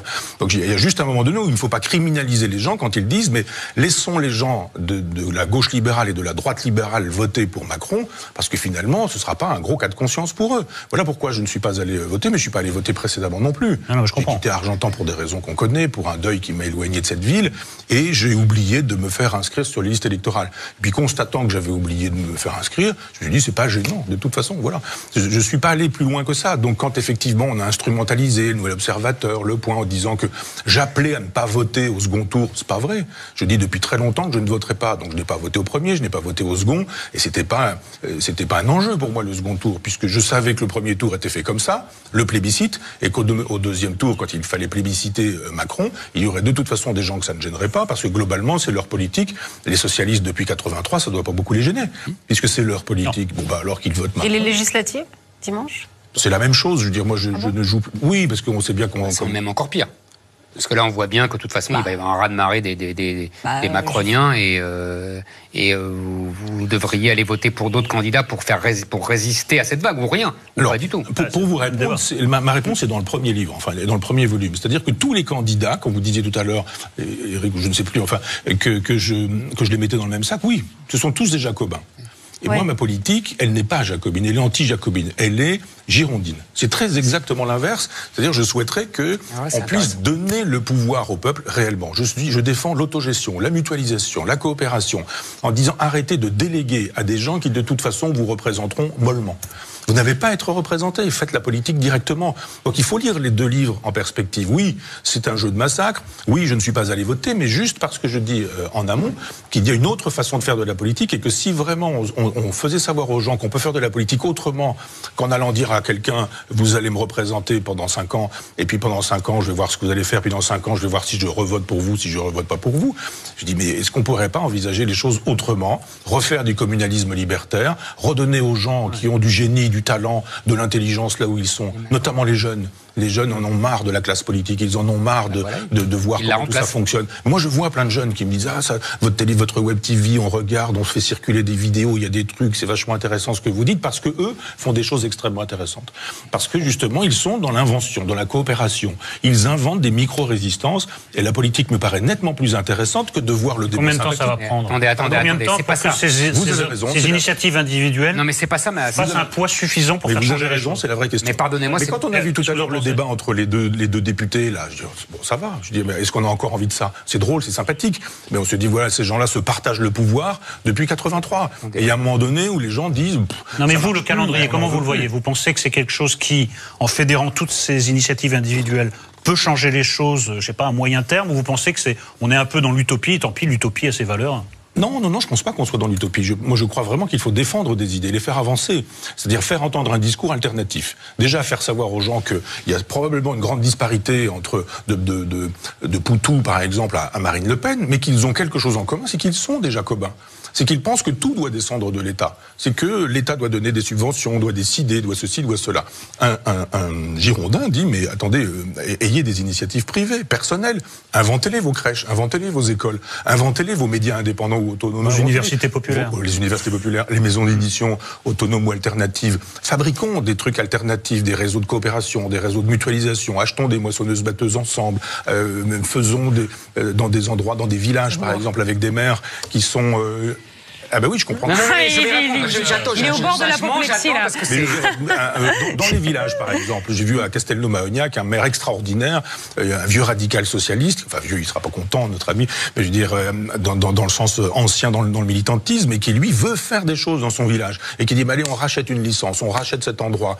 ce bar, il n'est pas question que que ça disparaisse. C'est un ancien bar où se réunissaient les résistants pendant l'occupation nazie. Il a dit mais il n'est pas question que ce bar devienne tout et n'importe quoi. Donc dit allez, on a racheté ça. Maintenant, des jeunes sont là, les loyers sont pas très coûteux et ça dynamise. Il y a des gens, il y a du monde, etc. Toutes ces initiatives communales avec des jeunes qui ont envie de vivre, de travailler au pays, parce que parfois ils n'ont pas forcément envie d'aller en ville, de monter à Paris, comme on dit, ou de monter à la capitale, et qui disent juste, mais on voudrait dans notre village, dans notre département, dans notre région, faire des choses.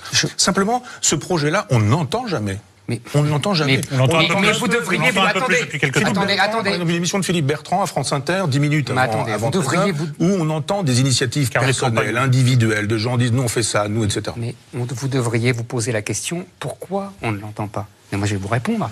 Parce que vous êtes dans l'utopie pure. Non, pas du tout. Vous êtes dans le mythe. Mais pas du le mythe, le mythe, le mythe communalisme. Mais LIP, ça a marché trois mois. Ça a marché et, et en plus, ça a été flingué mais non, mais arrêtez, mais arrêtez. Les Jacobins de droite et les Jacobins de gauche. Les, Girondins, en plus, les Girondins, on pourrait refaire un, un débat d'histoire. Parce que vous avez une vision complètement mythifiée des Girondins. Les Girondins sont des gens qui déclarent la guerre à l'Europe et qui après pleurent dans le giron des montagnards pour leur dire maman, comment on fait? Il y a toute l'Europe méchante qui nous attaque. Et c'est les montagnards qui sont obligés de faire la dictature pour sauver la France. Et C'est un débat technique. Euh, bah, c'est pas technique, c'est fondamental. Et vous n'avez pas tort ah, sur la question. Merci. Clivage, c'est non, mais c'est non, c'est la même, c'est le même clivage parce que c'est un clivage. Pour rentrer dans le détail de la guerre. C'est un. Non, non, mais on va faire. Non, non, non, mais on prend. Non, non, non, On prendra avec grand plaisir. C'est un débat. Mais oui, c'est un débat très. Mais oui, exactement. C'est un débat très important parce qu'il court. Mais c'est pas le nôtre. Mais si c'est en vérité le nôtre. Mais si c'est en vérité le nôtre, parce que, mais si, parce que. Non, mais il a raison, les Girondins dont je parle aujourd'hui. Mais j'ai compris. Mais chercher en Mais j'ai compris, évidemment. Mais évidemment, ne vous inquiétez pas, je ne vous guillotinerai pas. Euh, je... je... connais votre passion pour Robespierre. Absolument, mais on, en, reparlera aussi. Mais, mais, mais, Robespierre, mais justement. Nous n'avons que des Robespierristes aujourd'hui. Mais pas du tout, mais pas du tout. Nous n'avons que des Girondins, justement. Des gens qui font des grands discours et qui ne font rien. C'est ça, les Girondins. Mais si c'est ça, mais si c'est ça. Les guillotines, ils n'ont pas Mais pas du tout. Bah, vous savez, vous savez, Vergniaud, il fait un grand discours pour dire il faut être gentil avec le roi. Et au moment de voter, il vote la mort du roi. Ah c'est ça vos Girondins. Et on revient aujourd'hui, c'est la même chose, c'est le même sujet. Ah un État, ça sert à quoi? Ça sert justement à protéger la France dans le monde. Mais je suis d'accord. Dans le monde, on ferait. Parce que le monde existe. Mais pas du tout. Girondin, le monde existe. Il veut pas d'État. Mais non, mais il veut un autre État. Il veut non, il eh veut, la le fédéralisme. Non, c'est pas vrai. Mais si, mais, non, c'est ça. Ça, ce sont les éléments de langage robespierriste oh, sur la oh, Révolution française. Les éléments de langage. Mais oui, mais oui. Mais on. C'est Soboul. C'est tous les historiens les a Ils sont ah, vos chefs finalement. Mais non, absolument. Bah bah oui, mais ils étaient lucides. Bah, mais oui, ils étaient lucides. Des, lu des mais alors, lucides. Mais alors, mais je vous rappelle encore. Alors, excusez-moi. Mais vous, vous passez votre temps à faire des raisonnements marxistes. ne critiquez pas, ne critiquez pas les communistes. Vous reprenez tout le temps leur raisonnement, et c'est le grand capital. mais moi aussi, mais moi aussi, moi je. Marxiste que communiste. Eh ben, c'est la même chose. Non, eh ben, pas exactement. Non. Méconnaît quelque chose de fondamental, c'est que ces initiatives locales se multiplient. Et là, des milliers. Je suis pas contre. Mais non, mais tu les, ignores. Pas, mais je les ignore pas. Mais je les ignore pas. Je dis qu'on ne fait pas une nation pas. C'est l'utopie. Non, en 2017, alors. Il faut un État qui centralise, autre, surtout en France, qui est, un, qui est un pays qui n'existe pas sans l'État, qui a été inventé par l'État. On n'est pas, ben, pas l'Italie, on n'est pas l'Allemagne. Depuis Philippe le Bel, oui. Eh ben oui, eh ben bah, pas hélas, c'est pas hélas. Sinon, vous ne serez pas là par les Français. On ferait, vous parlerez allemand ou vous parlerez, italien, vous ne parlez pas français. Normand, je parlerai. Et donc. Bah, euh, c'est pas beaucoup mieux. Bien sûr que si, c'est quand même beaucoup mieux. Et euh, viking. Ah, vous ne pourrez pas vous faire référence à Chamfort et à La Rochefoucauld et à la bah, bruyère Parce que ça, oh, c'est vraiment le produit de l'État central, mon mais, cher Onfray. Sinon, il y aurait pas de tout ça. Ne pas parler du passé. Mais on peut parler de l'avenir. Eh ben c'est la même chose. La même chose. Non, parce que je pense qu'on doit pouvoir aujourd'hui, en étant girondin, défendre un État. Je ne suis pas contre l'État. Je ne suis pas du tout contre l'État. Vous passez votre temps à critiquer. Et alors, parlons d'aujourd'hui. L'État centralisé et. Justement. Il n'est pas centralisé, justement. Il est de moins en moins centralisé. Mais aujourd'hui, il n'y a plus d'État. Eh ben alors, vous voyez, c'est ça la catastrophe. Pour une raison qui nous rassemble, qui est. C'est l'Europe. Absolument. Bah, c'est l'Europe maastrichtienne. Il y a un État maastrichtien. Oui, ah, il y a ah, un État européen. Une, une, une oligarchie. Un État, vous êtes. Non, c'est un État, il a son drapeau, il a son hymne, il a sa monnaie. Oui, il y a une euh, oligarchie, ce qu'on peut. Personne ne trouve grâce à vos yeux dans le monde politique actuellement. Personne. Ce que vous décrivez, cet État un peu girondin, etc., il pourrait être incarné par quelqu'un. les jeunes dont je parlais tout à l'heure. Non, mais en politique, etc., eh il n'y en a pas. politique, ça. Et pas des gens qui viennent faire semblant, de se battre en disant, gros, on se tape euh, sur l'épaule et puis on va à la buvette de l'Assemblée nationale et globalement, on défend. La République des camarades, les années 1920. Justement, arrêtons ça. Moi, je préférerais effectivement qu'on donne du pouvoir aux gens qui font vraiment de la politique. Justement, les jeunes qui, dans les villages, ont envie de faire des trucs, inventent des, réseaux alternatifs. Ce sont ces gens-là qui font vraiment de la politique. C'est pas ce que fait Macron avec ses nouveaux députés. Ces nouveaux députés. marxisto on. C'est pas mal, c'est intéressant. Hein. c'est pas parce que Maurras a défendu le fédéralisme que. Non, je ne défends pas le fédéralisme. Il faut simplement vous faire sortir du schéma euh, du, schéma jacobin rien. de la lecture de, la lecture de la Révolution française. On n'est pas fédéraliste quand on est girondin. C'est ce qu'on. Mais bien sûr que non. Mais, bien, sûr que non. Il disait à l'époque. Avait... Ah, attendez, il y avait à l'époque 83 départements. Les Girondins disaient il faut que Paris pèse 1,83e de la ah représentation nationale. C'est ça, le fédéralisme. Eh ben sauf que euh, non, c'est pas ça le fédéralisme. Mais, si. mais, mais pas du tout. Ouais. Du... Alors... Avant que Zemmour reprenne ses marottes, il y avait une question. Mais c'est pas une marotte. Intéressante. Non, non, n'est pas une marotte. À savoir qu'il y a un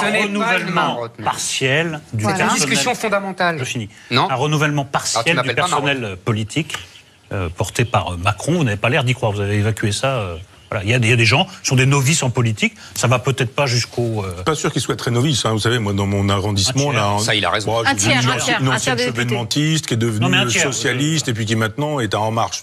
Si vraiment on fait la généalogie de tous ces gens-là, leur passé est un peu impassif. Il y a un Donc... début. Non, il y a un début. Il y a un tiers de gens qui sont. Non, il y, a, il, y a, y, a pas mal d'opportunistes qui se disent c'est l'occasion de passer par-dessus la tête des raison. vieux qui sont là depuis très longtemps et leur seul leur seul argument c'est de dire je suis jeune, je suis neuf et j'ai mon âge. C'est pas des jeunes cons, hein, les jeunes cons, ça existe aussi. Non, mais ça rajouter quelque chose. C'est des vieux cons, la connerie. Euh, non, mais il y a autre chose. C'est que, euh, comme par hasard, il n'y a que de la bourgeoisie. Ah, il n'y a pas un ouvrier, il n'y a pas un, un, un non, enfin, socialement, socialement, ah, c'est parfait. Histoire, non. non et en plus, la parité pour... en rajoute. C'est-à-dire, comme on est obsédé par la parité, c'est des femmes de la bourgeoisie qui se ah, rajoutent aux hommes de la bourgeoisie. Trop de femmes. Il y a trop de bah, femmes. Euh, il y a de la bourgeoisie, oui. Michel Offrand avait une autre Le féminisme est un moyen pour euh, accomplir la domination totale de la bourgeoisie. Oh. Bientôt en meeting. Alors, on voulait. Moi, je suis comme vous, je suis complotiste. On voulait revenir. Oui, on en a deux à la bah table. Et moi, je suis la princesse de l'emballe, je n'en peux plus là. Des... Elle finit très mal princesse de oui, bah, je sais, la tête au bout d'une pique. Ah, Alors, exactement. on voulait aussi. mutilée sexuellement. Absolument. Ah bon? Et on monte sa tête, on monte sa tête à marionnette. Son pubis découpé. Ah, bon, bah non, finalement, ça se passe la brosse Mais ça, c'est le peuple. Vos amis, Jacob. Pas du tout. Pas du tout. C'est le peuple. Je ne voulais pas relancer le débat. Mais c'est le peuple à la base. Ça, on ferait celui que vous aimez. commun des C'est le peuple à la et des base. Jacobins. Non, c'est pas Allez, sans culotte de l'an 2, allons-y. À la fin, on voulait aussi revenir sur votre texte, un texte qui a fait polémique pendant la présidentielle, qui était euh, très violent, que je vais lire parce que, enfin, dont je vais lire un bout parce que quand même, c'était quelque chose. Le belliciste BHL Oui, a donc oui, gagné. oui. Et avec lui, un texte qui Pierre. fait 20 000 signes. Vous allez me sortir ça. Mais Alors, maintenant- dites-moi. Ben, on les prend les uns après les autres. Vous voulez, mais j'ai pas envie d'en faire une affaire de personne. Je dis de quelqu'un qui est pédophile. Vous voudriez que je vous dise dans quelle page ça se trouve ça se- Mais si. Non, mais On m'a dit j'ai été extrêmement violent en disant tout ça. Est-ce que BHL n'est pas belliciste? Si. Bon. Je lui ai dit la même Est-ce que le personnage dont j'ai dit qu'il était pédophile, peu importe euh, son nom, euh, est-ce qu'il l'est ou est-ce qu'il ne l'est pas? Il a écrit dans un livre qu'il l'avait été. Est-ce que les personnages qui sont Alain Minck n'ont pas été euh, convaincus de plagiat au tribunal? Est-ce que c'est pas la même chose avec Non, mais je veux bien. On avait interrogé. Non, non, mais vous énervez on- pas. On dit- avait interrogé BHL. On me dit, on me dit votre texte est violent. Je veux bien. Il Oui, est insultant, nanana, etc. Je veux bien. Je dis, on les prend tous les uns après les autres. Je parle de Pierre Berger en disant qu'il est, qu'il est pour la location, Location de l'utérus d'autrui. Bah, c'est faux ou c'est vrai? Alors attendez. donc qui est violent? C'est le réel qui est violent. Parce que moi, je veux bien qu'on reprenne mon texte, mais si vous me dites que BHL est un pacifiste et que je le traite de belliciste et que c'est une erreur. Il avait réagi. pers- Pardon Regardez, il avait Oui, réagi. Je m'en fous. non, mais, non, mais on, on vous a préparé, vous voulez pas le voir Regardez. non, non, non. Mais si, regardez, on l'a. Non, Non, mais on a travaillé. On a travaillé. Regardez. si Bah, ça me lancez fait maintenant. J'ai même cru d'abord que c'était un que c'était un faux, que c'était un canular. Ça me, ça me semblait pas possible. Cette façon-là. euh, Oui, je- vous je- êtes le belliciste. oui, euh, oui, euh, le- euh, il, parle, il parle alors là, là vraiment comme dans les années 30 pour le coup. Cet usage de, de, de euh, à défaut d'argumentation quel- avec quelque chose d'accablant et ça pour le coup vraiment c'était c'était un mauvais signe. Mauvais signe? Bah, ça sent Adolf Hitler quand même. hein. Je suis un peu Adolf Hitler dans cette affaire. Je vous pas- redis, je vous redis. Reprenons ce que je dis de chacun. Il n'a qu'à porter plainte. Que tous ces gens-là portent plainte si je suis insultant, si je dis des, si je dis des contre-vérités. Que les plagiaires dont je dis qui ils sont me disent que je les ai insultés en disant qu'ils sont plagiaires. Que le pédophile porte plainte en disant qu'il n'est pas pédophile. Que le belliciste nous dise qu'il n'est pas belliciste. Je veux bien, moi. Que Berger nous dise qu'il n'est pas pour la location des utérus d'autrui et les autres dont j'ai parlé. non, en mais fait, je veux bien être agressif. Ça participait d'un c'est le- climat général. Écoutez, non, non, non, à la fin de la campagne, il y a eu des gens qui, pendant les meetings de Jean-Luc Mélenchon, Ce avaient des pancartes texte- pendaient les banquiers. Eh C'est-à-dire bien, qu'on aurait vu que ça à un meeting ça, du FN, je vous dis pas. vous- vous m'assimilez à ça Non, pas du tout, je vous assimile pas. Je je une- reproche aux gens d'être ce qu'ils sont. Il y a eu Et vous me dites que une c'est montée insultant. de la violence. Non, mais je rêve. Non. Non, mais je rêve. De toute façon. A passé son temps à nous dire qu'il fallait bombarder la Libye, qu'il fallait bombarder l'Afghanistan, qu'il fallait bombarder l'Irak, qu'il fallait bombarder la Syrie. Est-ce que ça ne s'appelle pas parle- je vous- Moi, je vous parle pas de climat, je vous parle de vérité. De toute façon. Je vous parle de vérité. Est-ce que BHL est un belliciste, oui ou non C'est ma question, façon- bon sang. Je, je- moi, je veux bien. c'est pas, c'est pas le sujet. La violence, elle est dans le réel. Mais Et voilà. elle va, elle va revenir de plus en plus aujourd'hui. Après gêne le, dans mon texte, le- la bulle, la bulle macronienne. Il concentre le Ah, mais réel. Je suis tout à mais moi, je suis d'accord. C'est-à-dire que je dis, eh bien voilà. C'est pas la même chose. Mais que, mais que je, je le redis si vous voulez que. Non, non, non, non, non, on va pas. C'est vous qui, c'est un texte de 20 000 signes. Sur ce texte de 20 000 signes, on sort ça. On dit ah quelle agressivité. Je dis juste que si j'étais, Entendez que non, on le reçoit, rien, parce que si vraiment j'étais euh, dans l'insulte, ces gens-là auraient porté plainte. Comment voulez-vous que BHL aille porter plainte en disant Michel Onfray a dit Non, que j'étais mais je belliciste trouve que- Moi je dis pas ah, c'est limite euh, limite Non, non, non, non. limite quoi limite fasciste. Onfray, non, ce type a fait carrière sur le bombardement des populations musulmanes. Et je, Euh, pas je me seulement contente- musulmanes. Pas seulement, vous avez raison. Euh, de beaucoup de publics. Absolument. c'est- un argument de. Ah, mais je lui ai dit ici, je lui ai dit ici. Eh Il bien- passe son temps à appeler Eh, au c'est bombardement, à la destruction des États. Voilà. Il en reste quand on le dit, on est violent, méchant, agressif? Est-ce qu'on utilise le langage de l'extrême droite des années 30 Est-ce qu'on est évidemment antisémite ou ce genre de choses? Si on peut plus dire la vérité, alors effectivement, donc ce texte a tourné parce qu'effectivement on disait regardez. Non, mais euh, Michel Onfray reconnaissait que avec ce texte, du moins l'extrait qui en a été donné, et ce livre, il y a un peu une nouvelle manière a quelque chose de plus direct, de moins philosophique, je dirais. Encore, ça peut être considéré comme une philosophie en acte, euh, voilà.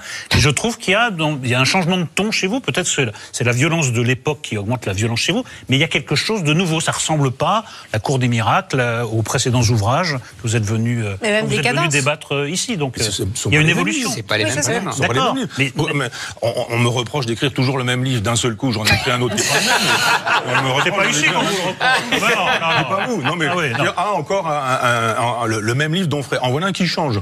Alors euh, après, on me reproche de faire des livres qui changent. Je dis simplement, dans le ton, euh, j'avais juste envie de jouer effectivement au chamboule tout parce que j'estime qu'on se moque de nous. Vous pouvez pas allumer la télévision depuis un an sans qu'il soit question du J-365, 364, etc. Puis après, c'est hop, on recommence avec les législatives. Je dis, est-ce qu'on a le droit, quand on est citoyen, un citoyen qui aime la République, qui aime la démocratie, qui aime le débat d'idées, qui aime la réflexion, euh, de faire un texte dans lequel on dit, vous nous fatiguez? Vous nous fatiguez, vous nous mentez, vous allez nous tromper, vous allez nous trahir, vous allez continuer à faire ce que vous faites depuis des années, vous allez continuer à faire monter le Front National. Là. Geoffrin, formidable, Geoffrin.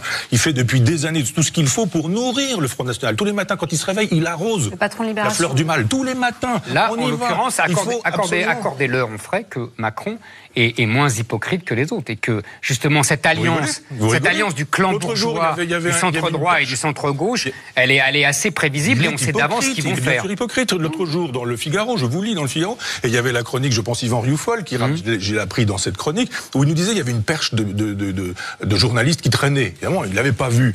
Et je crois que c'est Le Drian ou le gars, je sais Le Drian qui lui dit alors que c'est passé comment avec les syndicats? Et il lui dit euh, très bien. De toute façon, je leur ai rien dit. Formidable. Oui. Formidable. ça s'est très bien passé. Il dit rien au syndicat, mais on sait très bien ce qu'il va faire. Et eh bon, on sait très bien ce qu'il va faire après les législatives. Voilà, exactement. Voilà, donc c'est aussi ça la question. C'est que pour l'instant, il joue au général de Gaulle, avec Poutine, avec Trump, et vous avez vu, je marche comme le général de Gaulle. Mais ça, c'est assez, assez, classique. Oui, ah, c'est assez classique. Est-ce qu'on a le droit C'est la politique. Est-ce qu'on a le droit de se marrer, quoi Bah oui. Voilà, c'est ce que je fais. une dernière petite question, excusez-moi. Et puis vous savez, si vous voulez vraiment, Eric, si vous voulez vraiment savoir si j'ai changé vraiment de ton ou de style, en 90, j'ai écrit un livre qui s'appelait Cynisme et qui faisait l'éloge de Diogène. C'est un grand exercice diogénien. Je suis, j'estime être fidèle à ce que j'écrivais à cette époque-là en disant nous avons besoin de nouveaux Diogènes. BHL, c'est un, c'est Platon. Euh, dans cette, je lui fais honneur. On me dit que vous êtes parti. En, disant une chose comme ça. Vous êtes parti, n'est-ce pas, pas traité Pourquoi vous voulez que je parte Non, on me dit qu'il faut que vous partiez là. Personne. C'est BHL qui appelle. Hein. Vous attend. Elle a l'oreillette. Il est à l'oreillette. Non, parce que euh. j'avais une autre question, mais je pense qu'elle prendrait trop de temps. Mais je vais quand même vous la poser. Comme, il y a, comme on voit que tout est en train de se de, de transmuter, de, de muer, de, que les partis politiques sont plus là où on les attend et qui sont plus d'ailleurs, enfin, ouais, sont plus là du tout. Qui sont plus là du tout. Vous avez une définition de l'extrême droite qui a existé dans l'histoire. Elle dispose d'un corpus intellectuel de penseurs, etc. Est-ce que vous pensez qu'elle est aussi en train de muter l'extrême droite française, c'est-à-dire que vous désignez, vous dites, elle a des penseurs, elle, a, elle désigne un ennemi qui est les juifs, elle, etc. Est-ce que maintenant l'ennemi de l'extrême droite c'est pas euh, les musulmans? Est-ce que vous voyez, est-ce qu'elle est en train aussi elle-même de s'adapter à l'époque? Moi, je pense que les mots ne veulent plus rien dire aujourd'hui et qu'on utilise des mots euh, à côté de la plaque, qu'on est fasciste, qu'on est nazi, qu'on est pétiniste, et que si effectivement euh, Marine Le Pen c'est Oradour-sur-Glane, alors c'est pas grave Oradour-sur-Glane si c'est ça. Or, c'est grave Oradour-sur-Glane. Donc, ce qui est grave, c'est de faire d'Oradour-sur-Glane un élément de campagne entre les deux tours pour dire j'espère que vous avez bien compris. Et au cas où vous n'auriez pas compris, demain, j'irai au mémorial de la Shoah. Je dis juste que respectons les morts de la Shoah. Respectons les résistants qui sont morts. Respectons tout ce qui a eu lieu véritablement du côté des gens qui défendaient vraiment la liberté. Et sachons qu'il y a eu une extrême droite. Et que cette extrême droite, elle existe, elle est militaire, elle est antisémite, elle est homophobe. Est-ce qu'elle est, est, qu'elle est en train de changer maintenant? Mais elle est où l'extrême droite? C'est ce que j'allais dire. Tout ça n'existe C'est pas Marine Le Pen. ou, alors, ou alors Mélenchon est d'extrême gauche.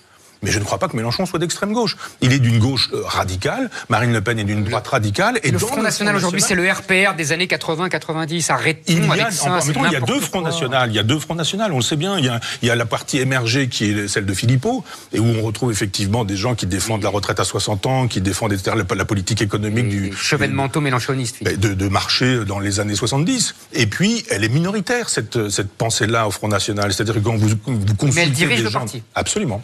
Et quand vous consultez les gens du Front National, c'est Marion Maréchal Le Pen qui est majoritaire, avec une option tout à fait opposée, ultralibérale, défendant l'euro.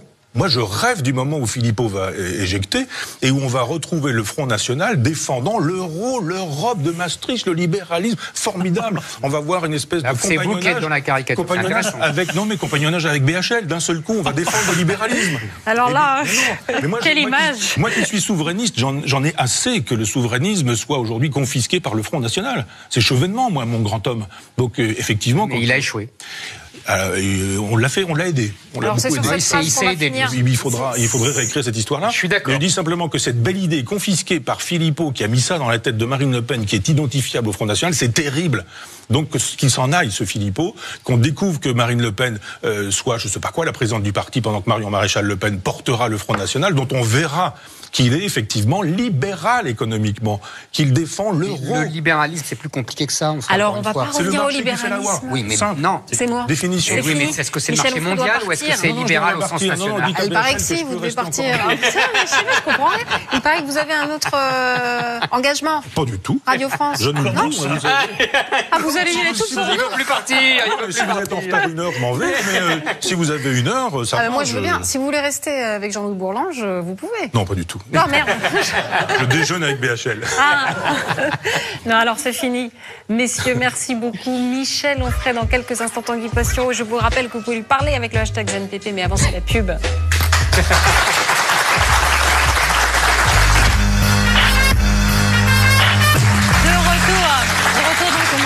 On accueille tout de suite Jean-Louis Bourlange, un candidat en marche. Oui, monsieur Bourlange.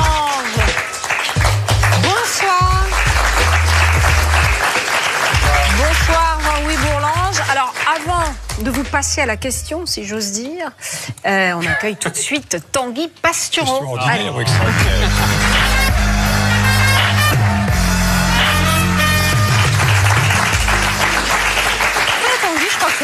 Oui, monsieur Bourlange en coulisses croyait que c'était moi qui avais écrit sur le Qatar.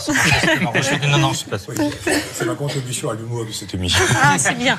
Alors, cette semaine, Emmanuel Macron, le président sexy qui rend la France moite, est allé en Bretagne avec Le Drian, où ils ont mis une combi. On aurait dit Tom Cruise dans Top Gun s'il était venu avec son papier. Puis, il a tenu la barre d'un bateau, barre non fixée, allégorie de son action politique. C'est-à-dire que c'est beau, mais à tous les coups, il nous envoie dans le mur. À Il a enfilé un casque à son nom, hein, pour le cas où il se perdrait, afin que ses parents viennent le chercher. Il est si jeune. Il a visité un bateau de croisière avec des mousses. Dommage, s'il avait gardé son casque d'ouvrier, on avait la moitié des village people. Cette semaine, il a aussi répondu à Trump en anglais, car il est cool et mondial depuis The Élysée. Puis il a tweeté en anglais, avec une photo de beau gosse de lui devant la mer et les palmiers. Il manquait juste Francky Vincent qui chante Alice à glisse et on était aux Antilles. Ensuite, Macron a reçu Narendra Modi, le chef indien sans plume, qui l'a dévoré des yeux en lui disant I love you, Mr. Modai. Ils sont allés se balader dans le jardin de l'Elysée et Macron est tellement sexy que l'eau de la fontaine s'est mise à jaillir. Sous Hollande, elle n'avait pas produit une goutte. En six minutes, une de moins qu'un speed dating, Macron a emballé maudit. Hein, ils ont fini main dans la main, comme dans un film de Bollywood gay. Sortir des buissons en tenant un barbu en jupe par la main. Normalement, on fait ça au bois de Boulogne. Maudit a fini par enlacer Macron. Hein, il a vu que c'était un gamin et a conscience d'être le sosie du Père Noël, donc il s'est dit ça va lui faire plaisir. Cette semaine, le maire de Nice, Christian Estrosi, a reçu Colomb et Darmanin. Pour lui, ça équivaut à se rendre à Pôle emploi parce qu'il attend que Macron lui propose un job. Alors, il a respecté une minute de silence en hommage aux victimes des attentats de Londres avec le prince Albert, seul type au monde à se recueillir en legging moulant avec des pompes en latex. Pour le prochain moment solennel, il viendra en slip. Estrosi a signé son bouquin à un salon du livre, à une dame qui lui disait qu'il était très bien. Estrosi a répondu, ah bah dans ce cas, je vais le lire. Puis, il a débattu avec Franz-Olivier Gisbert et Eric Nolot. Notre Nolot, qui pour survivre est obligé de faire des ménages. Samedi, il sera au magasin Shopee de Quimper pour la quinzaine de la galette.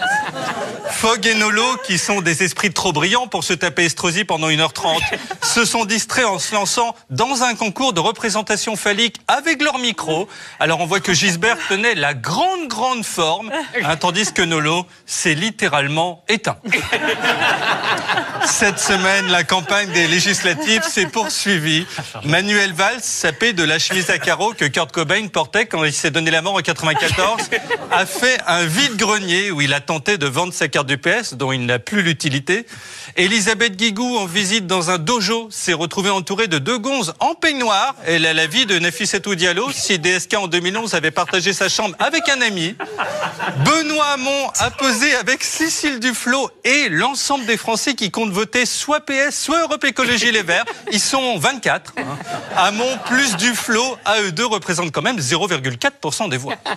Alors cette semaine, Benjamin Griveaux, euh, proche de Macron hein, et candidat aux législatives, a tweeté en anglais la langue officielle de la République en marche, hein, The Republic with your feet. Alors il a retrouvé ses fans au métro Colonel Fabien. Hein, il leur avait dit rendez-vous métro Général MacArthur, mais ils avaient traduit d'eux-mêmes. Puis il a demandé à une vieille dame, puis il a demandé à une vieille dame, ça vous dit de vous mettre en marche? Ce à quoi elle a répondu, pauvre con, je suis en fauteuil. Il a dit, oh, I'm sorry. Enfin, la dame a mis ça sur le compte du décalage culturel, bien sûr.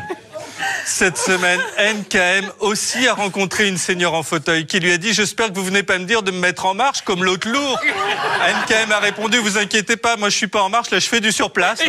La semaine prochaine, elle est en moonwalk. Raffarin, lui, a croisé Juppé, qui depuis son échec à la primaire ne fait plus rien et ne bouge plus, à tel point qu'il y a des plantes qui lui poussent dans le dos. Bruno Le Maire Bruno Le Maire a pris un café dans une assemblée de buveurs de binous. Hein, il est tellement coinsos que même à la fête de la bière de Munich, il prendrait un Fanta. Du coup, il s'est jamais amusé. D'ailleurs, il est toujours vierge. Et Florian Philippot a fait un discours avec un type derrière lui en train de lui filmer les fesses. C'est pour le DVD Le FN interdit, hein, qui comprendra aussi des images de Louis Alliot avec les tétons qui pointent et de Bruno Gollnisch léchant une glace de boule. Cette semaine, à la finale du top 14, les joueurs de Fidji se sont agenouillés devant Macron. Ce ne sont pas moins de trois mecs baraqués qui lui ont demandé sa main. La nuit de noces a été très compliquée. Brigitte a croisé Chabal, à qui elle a dit on a Édouard Philippe et Emmanuel fait des papouilles et Narendra Modi, alors tu me fais pas peur avec les trois poils. Le prince Albert a encore respecté une minute de silence, mais en costume, hein, donc personne ne l'a reconnu. Il a passé la semaine à se taire. Hein, c'est le seul point positif qu'on pourra jamais trouver au terrorisme. Cette semaine, enfin, Bruno Retailleau, le cascadeur de l'extrême qui a suivi Fillon dans son saut en parachute sans parachute, a fait une réunion de soutien au candidat Jean-Michel Lallaire, hein, qui heureusement n'est pas une femme, sinon on l'aurait appelé La Lallaire. Oui, parce que la France, la France, c'est ça. Ce sont des noms rigolos. Hein, rien que pour ce scrutin se présente Dominique Dor, le seul qui porte le nom de ce qu'il fera à l'Assemblée s'il est élu. Au FN, ils ont quand même Monique Fureur. Hein, ça fait 15 ans qu'ils essaient de dédiaboliser le truc. Marine Le Pen pose en photo avec des chats et paf, ils prennent Fureur. Alors faut tout recommencer. Dans le Rhône, on a Monsieur Baratin, il était fait pour la politique. En Seine-et-Marne se présente Franck Braquemar, hein, dont on sait une chose, c'est qu'il sera vigoureux. Chez les Verts, ils ont une Myriam Santune, avec un nom pareil. Elle risquait pas de bosser pour Macron. Un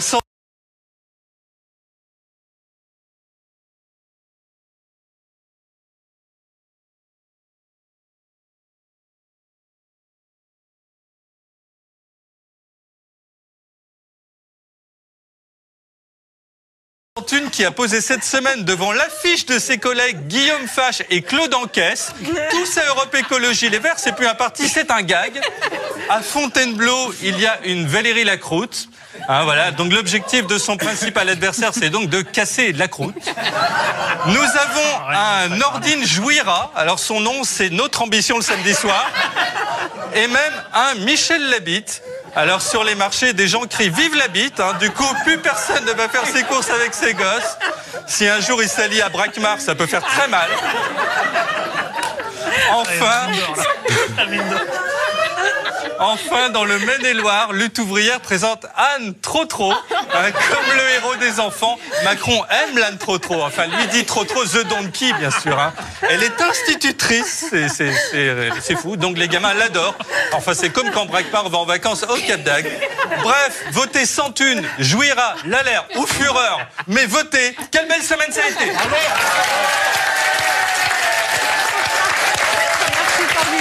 Je rappelle que tous vos amis peuvent vous célébrer sur les réseaux sociaux avec le hashtag ZenPP. On passe maintenant à notre invité politique. Et notre invité politique, c'est vous, Jean-Louis Borlange. Jingle. Borlange. Henri Bourlange, vous êtes proche de enchaîner maintenant. François Bayrou, il faut enchaîner. Euh, vous êtes candidat dans les Hauts-de-Seine. J'ai oublié qu'il y avait un candidat de En Marche qui s'appelle Arrière. C'est vrai En Marche Arrière. ah, c'était pas mal. Oh, vous, finissez la chronique. Euh, vous êtes candidat dans les Hauts-de-Seine, mais vous aviez arrêté la politique il y a 10 ans. Pourquoi y revenir? Est-ce que vous êtes derrière Moïse et la mer Rouge s'ouvre devant vous et vous sentez la possibilité d'une victoire? Ah, je suis tout à fait dans la situation de Moïse, mais dans l'étape ultérieure. C'est-à-dire au moment où Moïse voit la terre promise et sait qu'elle sera conquise, investie par d'autres, par Josué. Ça a été le cas, ça a été le syndrome de François Bayrou, qui avait préparé cette affaire, et puis c'était pas son temps, en 2007, et maintenant, il a vu que c'était possible. Moi, en 2007, je me suis retiré de la politique, volontairement, j'étais parlementaire européen, je faisais mon travail sérieusement, tout le monde s'en foutait tout le monde s'en foutait. Ce qui se passait au Parlement européen, c'était dramatique quand vous étiez au Parlement européen. C'était comme une, une, salle de cinéma euh, euh, western ou de euh, tout le monde était là, c'était passionnant. Et puis vous sortez, vous sortiez du Parlement européen, le calme plat. Personne ne s'intéressait à ce que vous faisiez, personne ne s'occupait, tout le monde ne disait que des âneries, à commencer par Eric, sur l'Europe. Pas du tout. Et, et, et, et donc, à un moment, j'ai trouvé que ça n'allait pas. En France, ça n'allait pas. Euh, la gauche était incapable, la droite était incapable. J'avais d'autres raisons personnelles de m'occuper de ma famille et de me retirer. Je me suis retiré et je me suis adonné à un sport que nous connaissons bien, chers amis, euh, qui est le, commentaire plus ou moins désenchanté, plus ou moins intelligent, plus ou moins stupide.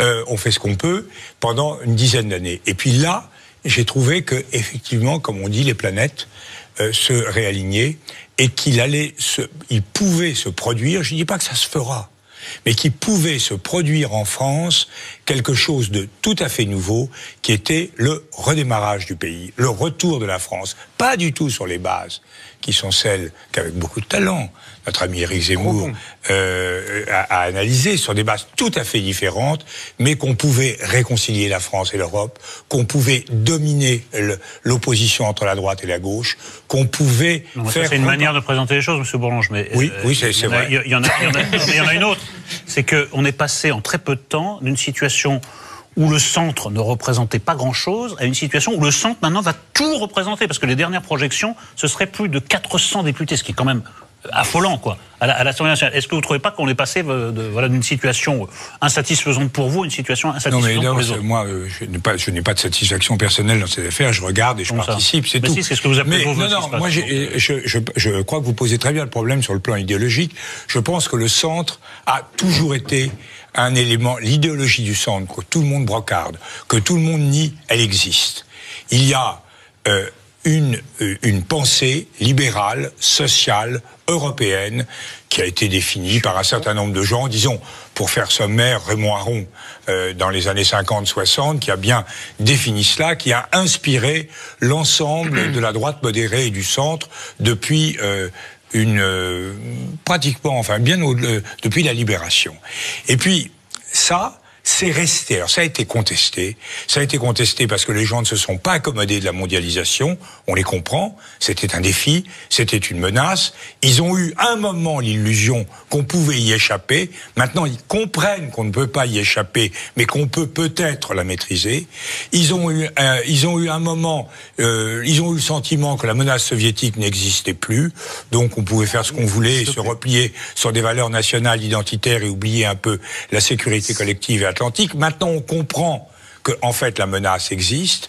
Ils ont euh, ils ont euh, cru euh, qu'on pouvait vivre comme ça, sans euh, renouer. Ce qui s'est passé, et ce qui s'est passé, c'est que la gauche et la droite se sont profondément divisées. C'est-à-dire que cette idéologie, cette idéologie, elle fonctionnait pas. Pourquoi? Parce que politiquement, le centre était informe. Parce que politiquement, le centre est uni, mais que culturellement, il est divisé. Il y a un centre laïque, un centre catholique, un, un centre libéral plutôt conservateur, un centre libéral plutôt laïque. Tout ça n'arrivait pas à être autre chose. Je, finis. autre chose qu'une brouette de grenouilles. Et, et donc, oui, on bougeait la, on bougeait la brouette. C'est le de Bayrou. C'est enfin, il, y a, il, y a il vous l'a piqué Il y a querelle de patate. Ah, bon, pardon. je ne dis pas qu'il me l'a piqué, mais il me l'a emprunté. Mais il est convaincu d'être sincère. Et moi-même, je l'ai emprunté à quelqu'un. Ah, bon, bah. Bon. On emprunte toujours à quelqu'un.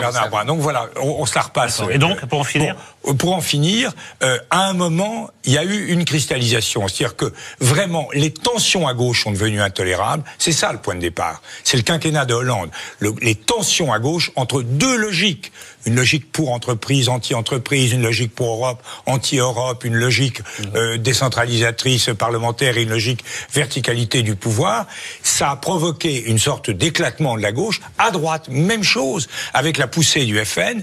Et à ce moment-là, il s'est produit un événement. Alors ça aurait pu être Juppé, Juppé a, a, essayé de jouer cela, ça n'a pas marché, et ça a été Macron. Et à partir du moment où c'est Macron, effectivement, euh, tout se cristallise, cette force idéologique qui a été niée, mais qui est très puissante, car elle correspond en profondeur à l'intérêt du pays et à ce que veulent les gens, c'est les 72% des Français qui veulent pas sortir de l'euro comme symbole de ça.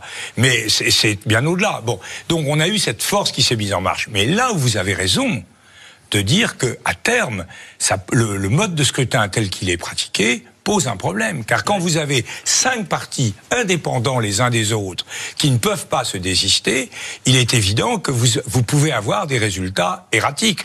Aujourd'hui, c'est pas du tout erratique, ça profitera à Macron, mais hier, ça aurait Elle était longue, cette phrase. Hein, elle était, oui, c'était une longue phrase. une longue fin de phrase. C'est une longue Je suis toujours un peu filou. Mais je connais, je connais, je connais. Mais c'est pas grave. Vous, voyez, voyez, cher Anaïs, que euh, l'histoire est très utile pour comprendre aujourd'hui. Parce que ce qu'il a fait, en fait, c'est une reconstitution de l'histoire l'histoire, et, c'est très important parce que je ne suis pas d'accord avec votre lecture de l'histoire. C'est-à-dire que moi, je pense, mais c'est fondamental. Mais je suis d'accord. Je n'ai rien dit, donc euh, pour l'instant, je ne peux que te croire. Vous êtes, oui, on est d'accord sur Vergniaud, déjà, c'est ah, plus important. On ne va pas repartir avec Non, non, on ne parle pas sur Vergniaud. Je vous en supplie. Promis, on ne parle pas sur Vergniaud, on est d'accord en plus. Ah, mais on je, est je le déstabilise un peu. donc, moi, je ne suis pas d'accord avec vous sur le centre. En vérité, le centre, depuis 30 ans, gouverne. Seulement, c'est ce que je m'évertue à expliquer ici depuis des semaines, c'est que il est caché, il se cache derrière la gauche et la droite. La vraie différence aujourd'hui, c'est que son pouvoir est euh, à, visage découvert. C'est-à-dire que euh, nous sommes un peu si je peux prendre deux comparaisons historiques, la première, c'est la troisième force sous la quatrième République, avec les deux extrêmes. À l'époque, c'était le RPF de De Gaulle et le Parti communiste. Là, on a Mélenchon et Le Pen. Et ou alors, ou alors, un moment plus, plus tardif, enfin plus, plus lointain dans l'histoire, je pense que nous, avons un côté 1830. C'est-à-dire que vous êtes la nouvelle majorité Louis Philipparde, avec ses qualités et ses défauts. Dans ma bouche, ce n'est pas une insulte. Ce que je veux dire par là, c'est que c'est déjà... Pas un compliment non plus, à mon Mais c'est pas un compliment, évidemment, mais c'est pas une insulte non plus. Parce qu'il y a une vraie volonté de réconciliation nationale chez Louis-Philippe et donc chez Macron. Seulement, je pense que la France, n'étant pas l'Angleterre, n'étant pas la France, elle sera balayée. Aujourd'hui, vous vivez un moment de grâce.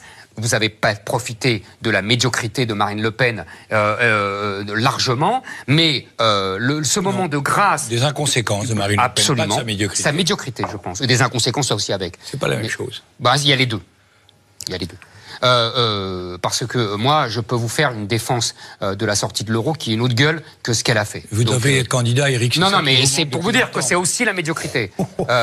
donc, c'est, vous voyez ce que je vous comprenez ce que je veux dire. Il y a d'autres gens qui le feraient beaucoup mieux qu'elle. Je ne suis pas, mieux que moi. Je ne suis pas un turiféraire de Mme Le Pen. Bon, on est d'accord. Moi non plus. donc, quand vous dites les gens ne se sont pas rendus compte qu'il y avait une menace, etc., c'est faux. Les gens comprennent qu'il y a des menaces. C'est les élites qui leur disent qu'il n'y a pas de menace. Excusez-moi, c'est une différence. Mais oui, les gens ont très bien compris qu'il y avait une menace euh, islamique. Ils ont très bien compris euh, qu'ils euh, devaient fuir euh, des, des, régions où ils n'étaient pas. C'est long comme phrase, hein, Eric. Ah, oui, mais, mais, oui. Mais donc c'est. Toutes les phrases sont longues là, hein, depuis un moment. Et surtout, c'est un oued. Non, mais surtout... dans le désert. Mais pas du tout, mais pas du tout. Bah, c'est le cas de le dire. Non, mais Jean-Louis Bourlange, vous êtes aussi. Donc, si vous voulez, je ne suis pas. Non, mais parce que c'était important. Non, mais justement, c'est en transition avec ce que, la question que va poser euh, euh Nolo maintenant. Euh, vous êtes un grand spécialiste des questions européennes et vous aviez une mais question. Justement, j'ai amené sur... pour ça. Voilà. Et vous avez j'ai fait exprès. Ce n'était pas dans le web. Sans le savoir, vous êtes comme Monsieur Jean. Voilà, j'ai fait le travail. Merci. Bon, non, sur le, sur le terrorisme et, et l'Europe, parce qu'en en fait, on est entré dans quelque chose de très répétitif, euh, malheureusement. À chaque attentat, il y a une réponse euh, alors nationale, on prend des mesures, des surmesures, des contre-mesures. Et puis on dit, bah, il faut aussi réagir euh, au niveau de l'Europe. Et la seule chose qu'on propose, en tout cas, la seule chose que j'entends, c'est il faut améliorer euh, l'échange des informations entre pays européens. Et on voit que ça n'améliore pas. Et depuis le temps qu'on demande cette mesure, elle aurait dû produire ses effets. Donc vous, qu'est-ce que vous préconisez au niveau européen contre le moi, terrorisme je, je, crois, je crois d'abord qu'il ne faut pas se tromper de diagnostic.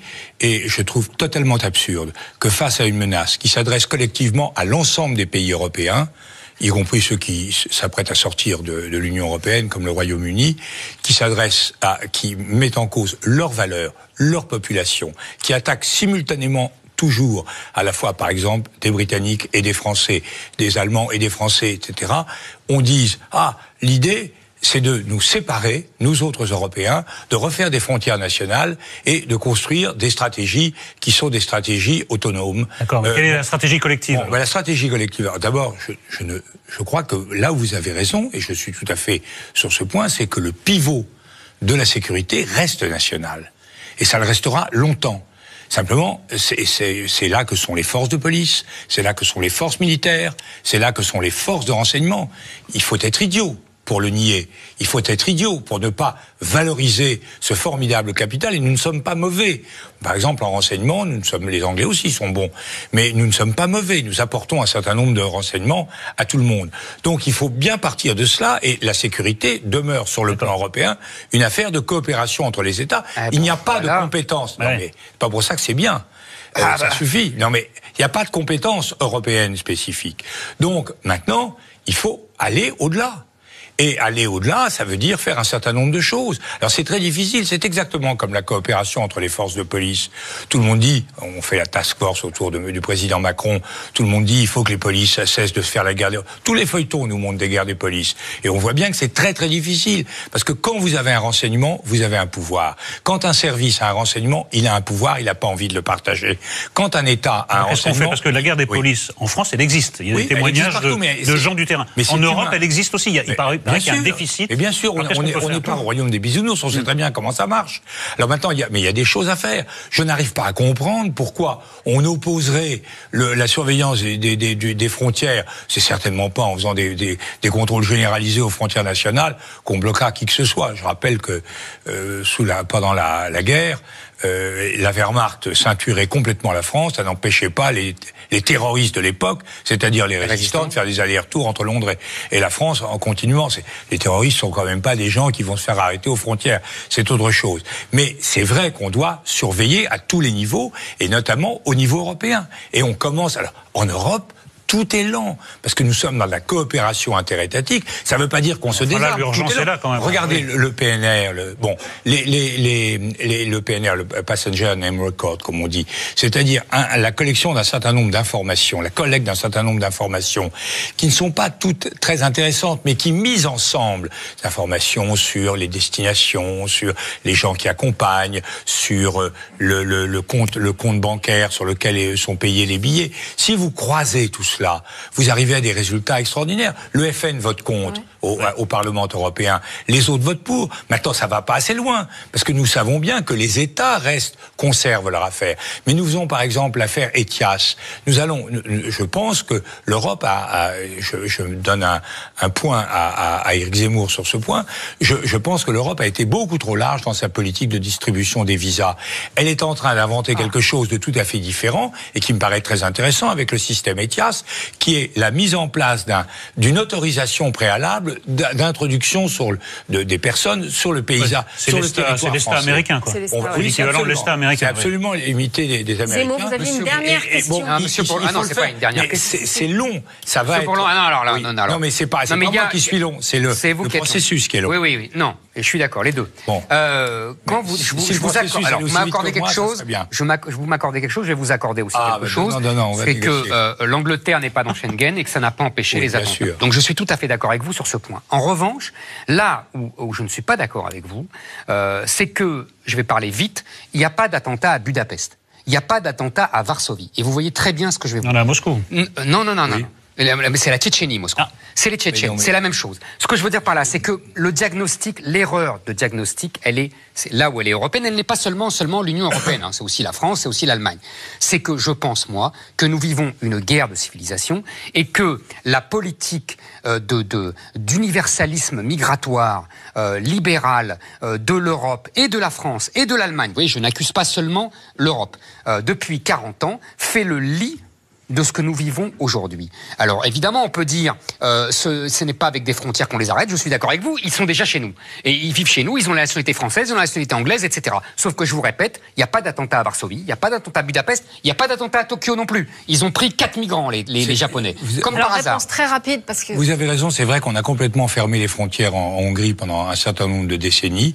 Euh, ça a sans doute protégé la population, Voilà. beaucoup de choses, donc, donc de, et aussi de la liberté. Oui, Non, mais là, là, ça- depuis- ça ne six veut rien mois. dire. Mais Non, vous ça ne veut pas rien dire, Hélas. monsieur Bourlange. Mais Ça ne si, veut pas rien dire. Les Russes ont, mais vous verrez, vous verrez. Les Russes, ils ont les Tchétchènes. Les, les- les Russes ont les Tchétchènes. Bah Il y a des- nous avons 5 millions de, de, de, de population. Nous avons effectivement, nous sommes une société qui accueille un certain nombre de gens et qui accueillera un Eh ben, certain nombre eh de ben, gens. ça nous coûtera et les. États-Unis, non. Mais si. Ça Bah n'a si. rien à voir. Mais si ça a tout à voir. Ah ben, c'est là notre désaccord de fond. Non, mais ça n'a rien à voir. Bah ça ne voir. débat, ça ne débouche sur aucune portée opérationnelle. Sauf si vous voulez commencer par expédier 5 millions de personnes ça, c'est trop facile. Monsieur Bourlange. Non, c'est pas facile. C'est trop est- facile. ce Parce que pas- ça occulte les responsabilités ça des- ne- des- depuis 40 ans. Ça C'est trop facile. rien. Et, si, ça occulte. et je souhaite en tout cas que vous ayez raison sur un point. Je souhaite que les Hongrois soient aussi épargnés et continuent d'être épargnés. Eh ben, J'en moi aussi. doute profondément. Ils l'ont bien mérité, non pas J'en doute Alors, profondément. Bah non. Bon, vous restez avec nous parce que après l'heure de la politique qu'on vient d'avoir ensemble, voici celle de la polémique.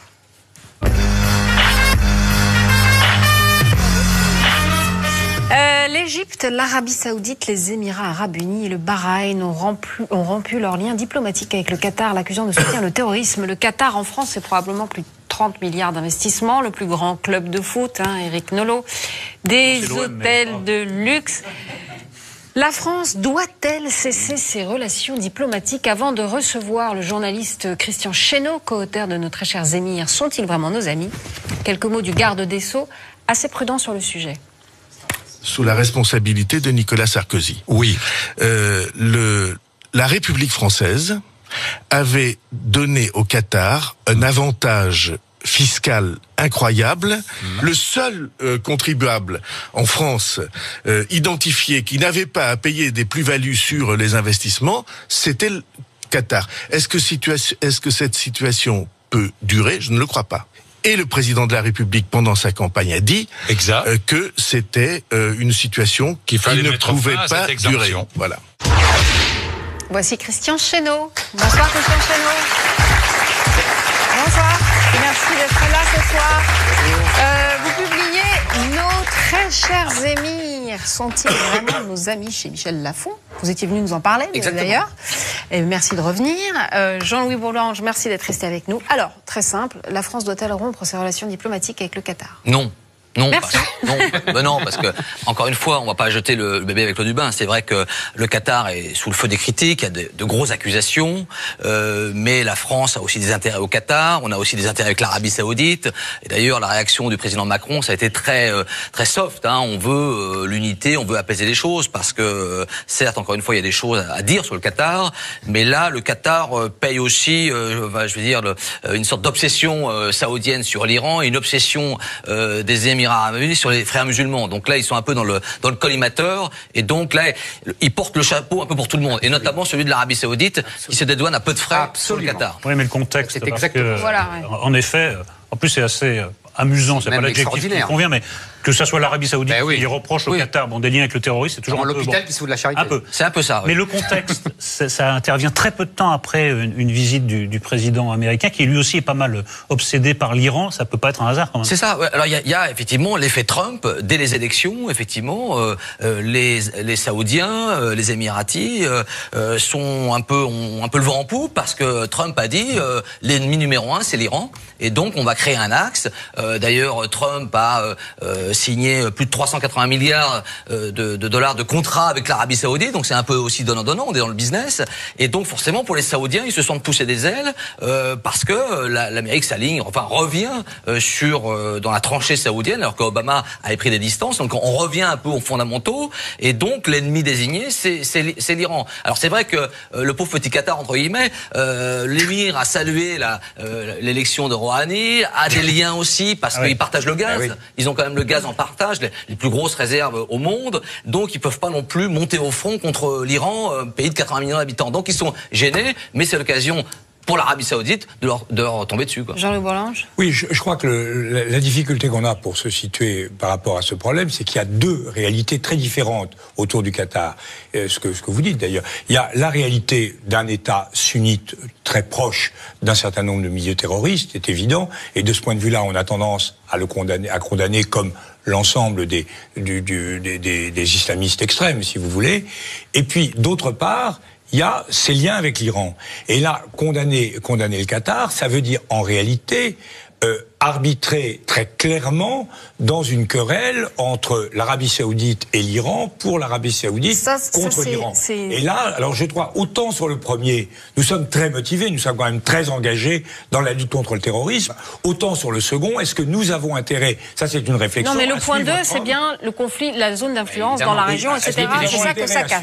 Sauf que pour le citoyen français, quand on dit le Qatar et l'Arabie Saoudite d'ailleurs finance ou sont en lien en partie avec le terroriste et qu'ici on prend 200 morts au Bataclan, 86 morts, sans sombrer dans la démagogie, il y a quand même un petit problème, non? Bah. Je ne sais pas sur votre point en tout cas. Ah ben bien sûr qu'il y a un problème. Je Alors, dire ça fait longtemps qu'il y a un problème. Bah oui, et donc il y, a, il y, a, un problème. Moi je trouve, je, euh, enfin, personnellement, euh, je trouve, comme d'ailleurs Emmanuel Macron l'a dit tout au long de sa campagne, qu'on a déroulé un tapis beaucoup trop rouge, si je puis dire, euh, au Qatar au cours des dernières années.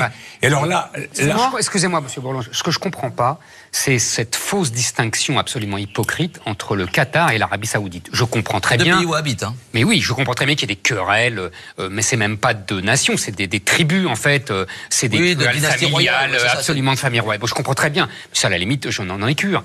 Mm. Le, truc, c'est qu'ils sont tous les deux, euh, les uns sont les salafistes, les autres sont les frères musulmans. Tout ça, c'est en fait une lecture littérale et littéraliste de l'islam qui se répand dans le monde entier et en particulier en France on fait toujours euh, référence aux attentats, à la violence, mais ce n'est pas seulement les attentats, c'est aussi un mode de vie, c'est aussi une conquête de territoire, en particulier en France et en Angleterre, uniquement par le nombre et par les mœurs. on oublie toujours ça, alors que c'est beaucoup plus important euh, et beaucoup plus existentiel, en vérité, que euh, les, attentats, selon moi. mais... non, mais et deuxièmement, l'Iran n'a rien à voir dans cette histoire. C'est extraordinaire. On n'a pas à prendre position pour des guerres entre sunnites ah et chiites, alors que l'Iran, lui, ça fait très longtemps qu'il ne décommandite pas des attentats, qu'il ne commandite pas mais des, pas des, des, des bombes. Quand on, quand on avait... et on n'a pas de chiites en France. On n'a pas de chiites qui, sortent en, en djellaba en France. On a eu des attentats iraniens dans le passé, il faut pas... Il y a 30 ans, mais il y a 30 ans, c'est l'époque de Quand on vous avez reçu, c'était euh, net, le livre, il y avait une diplomatie économique qui s'était mise. Donc ah on n'avait pas, eh c'était pas du tout ces considérations-là qui étaient en. mais on avait décidé de tout jouer sur l'Arabie Saoudite et donc d'être très ferme, même très sévère avec les Iraniens. Et ça faisait le contraire. Non, mais, mais, on a essayé de faire les deux, ah en espérant récupérer des contrats. Le problème, c'est que alors, les pauvres contrats qu'on a récupérés, c'est loin des chiffres de, bah. de, Trump. Donc là, on est devant une nouvelle situation. Est-ce que la France doit prendre parti pour un camp ou pour Non, la France ne va pas choisir parce qu'encore une fois, on a des intérêts des deux côtés. Mais on n'a pas à choisir de façon. La peste et le choléra. La France, c'est le deuxième euh, destinataire de l'investissement euh, qatarien, qatari. Oui, le premier c'est Londres, mais surtout la France a signé un accord euh, de défense avec le Qatar en 94. On a vendu 24 rafales. Il y a, beaucoup de business de part et d'autre. Et puis on vend à l'Égypte qui sont financés par.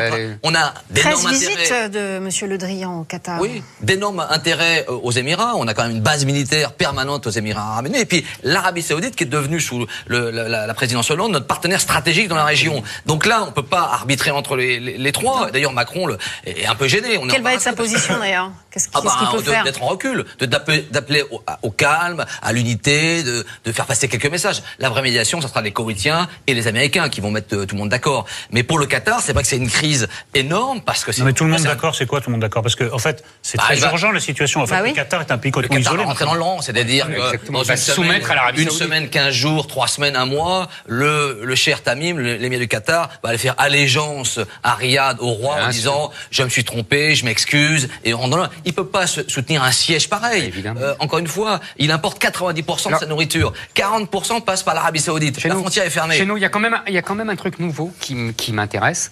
Il y a deux trucs nouveaux. Il y a le premier d'abord, c'est que si j'ai bien compris, euh, le Qatar est non seulement proche de l'Iran, mais aussi proche de la Turquie. Non, mais proche. Oui, oui, proche de la Turquie. et donc, et donc là, ça modifie le rapport de force. L'Arabie Saoudite n'est plus aussi euh, hégémonique euh, face à la Turquie. Euh, c'est quand même pas rien. Il y a une vraie armée. il y a une, une économie puissante. donc là, il y a un, un, une, une, recomposition qui est en train de. musulman. C'est un, un, peu le, le lien frère musulman. D'ailleurs, les Turcs sont en train de construire une base militaire au Qatar. Voilà, on est bien d'accord. Je crois quand même que le fond, je suis d'accord avec ce que vous venez de dire, le fond du problème, c'est pas que le, Qatar est un État euh, terroriste, etc. Effectivement, tout, il n'y a pas beaucoup d'États qui, dans, cette partie du monde, sont complètement indemnes de lien avec le terrorisme.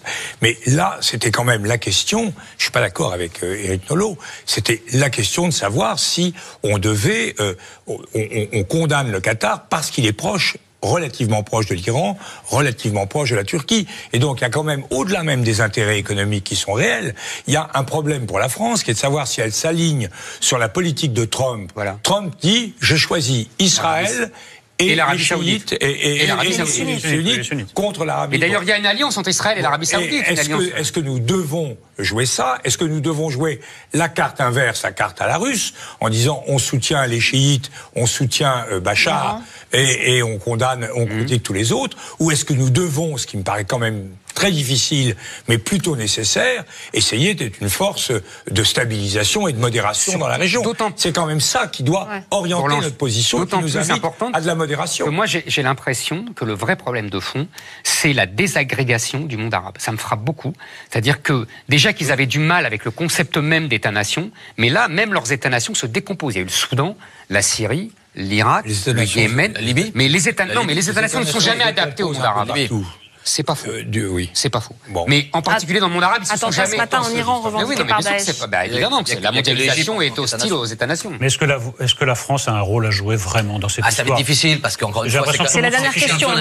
C'est une zone américaine. Encore une fois, ça va se régler entre tribus, j'allais dire, entre bah, chefs de famille. C'est-à-dire l'émir du Koweït va faire la médiation. Nous, encore une fois, on peut passer des messages, mais on n'aura pas un rôle majeur, moteur, parce qu'en plus, on ne peut pas choisir. Encore une fois, base militaire à Abu Dhabi, euh, Rafale au Qatar, partenaire stratégique avec l'Arabie Saoudite. On peut pas choisir. Et d'ailleurs, on le paierait très cher. C'est-à-dire que si on choisissait, on s'exposerait à des rétorsions. On peut euh, juste. L'émir du euh, Qatar peut aussi désinvestir en France et ça serait catastrophique. On est dans la phrase du cardinal de Retz. Hein. on ne sort de l'équivoque qu'à son détriment. La phrase préférée d'Ambiguïté.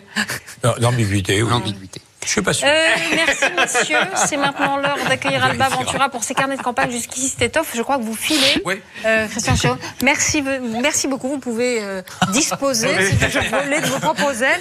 Je rappelle votre livre, nos très chers, nos très chers amis, hein, sont-ils vraiment nos amis? Christian Chéneau, Georges Malbruno, euh, chez Michel Lafont. Merci, infiniment.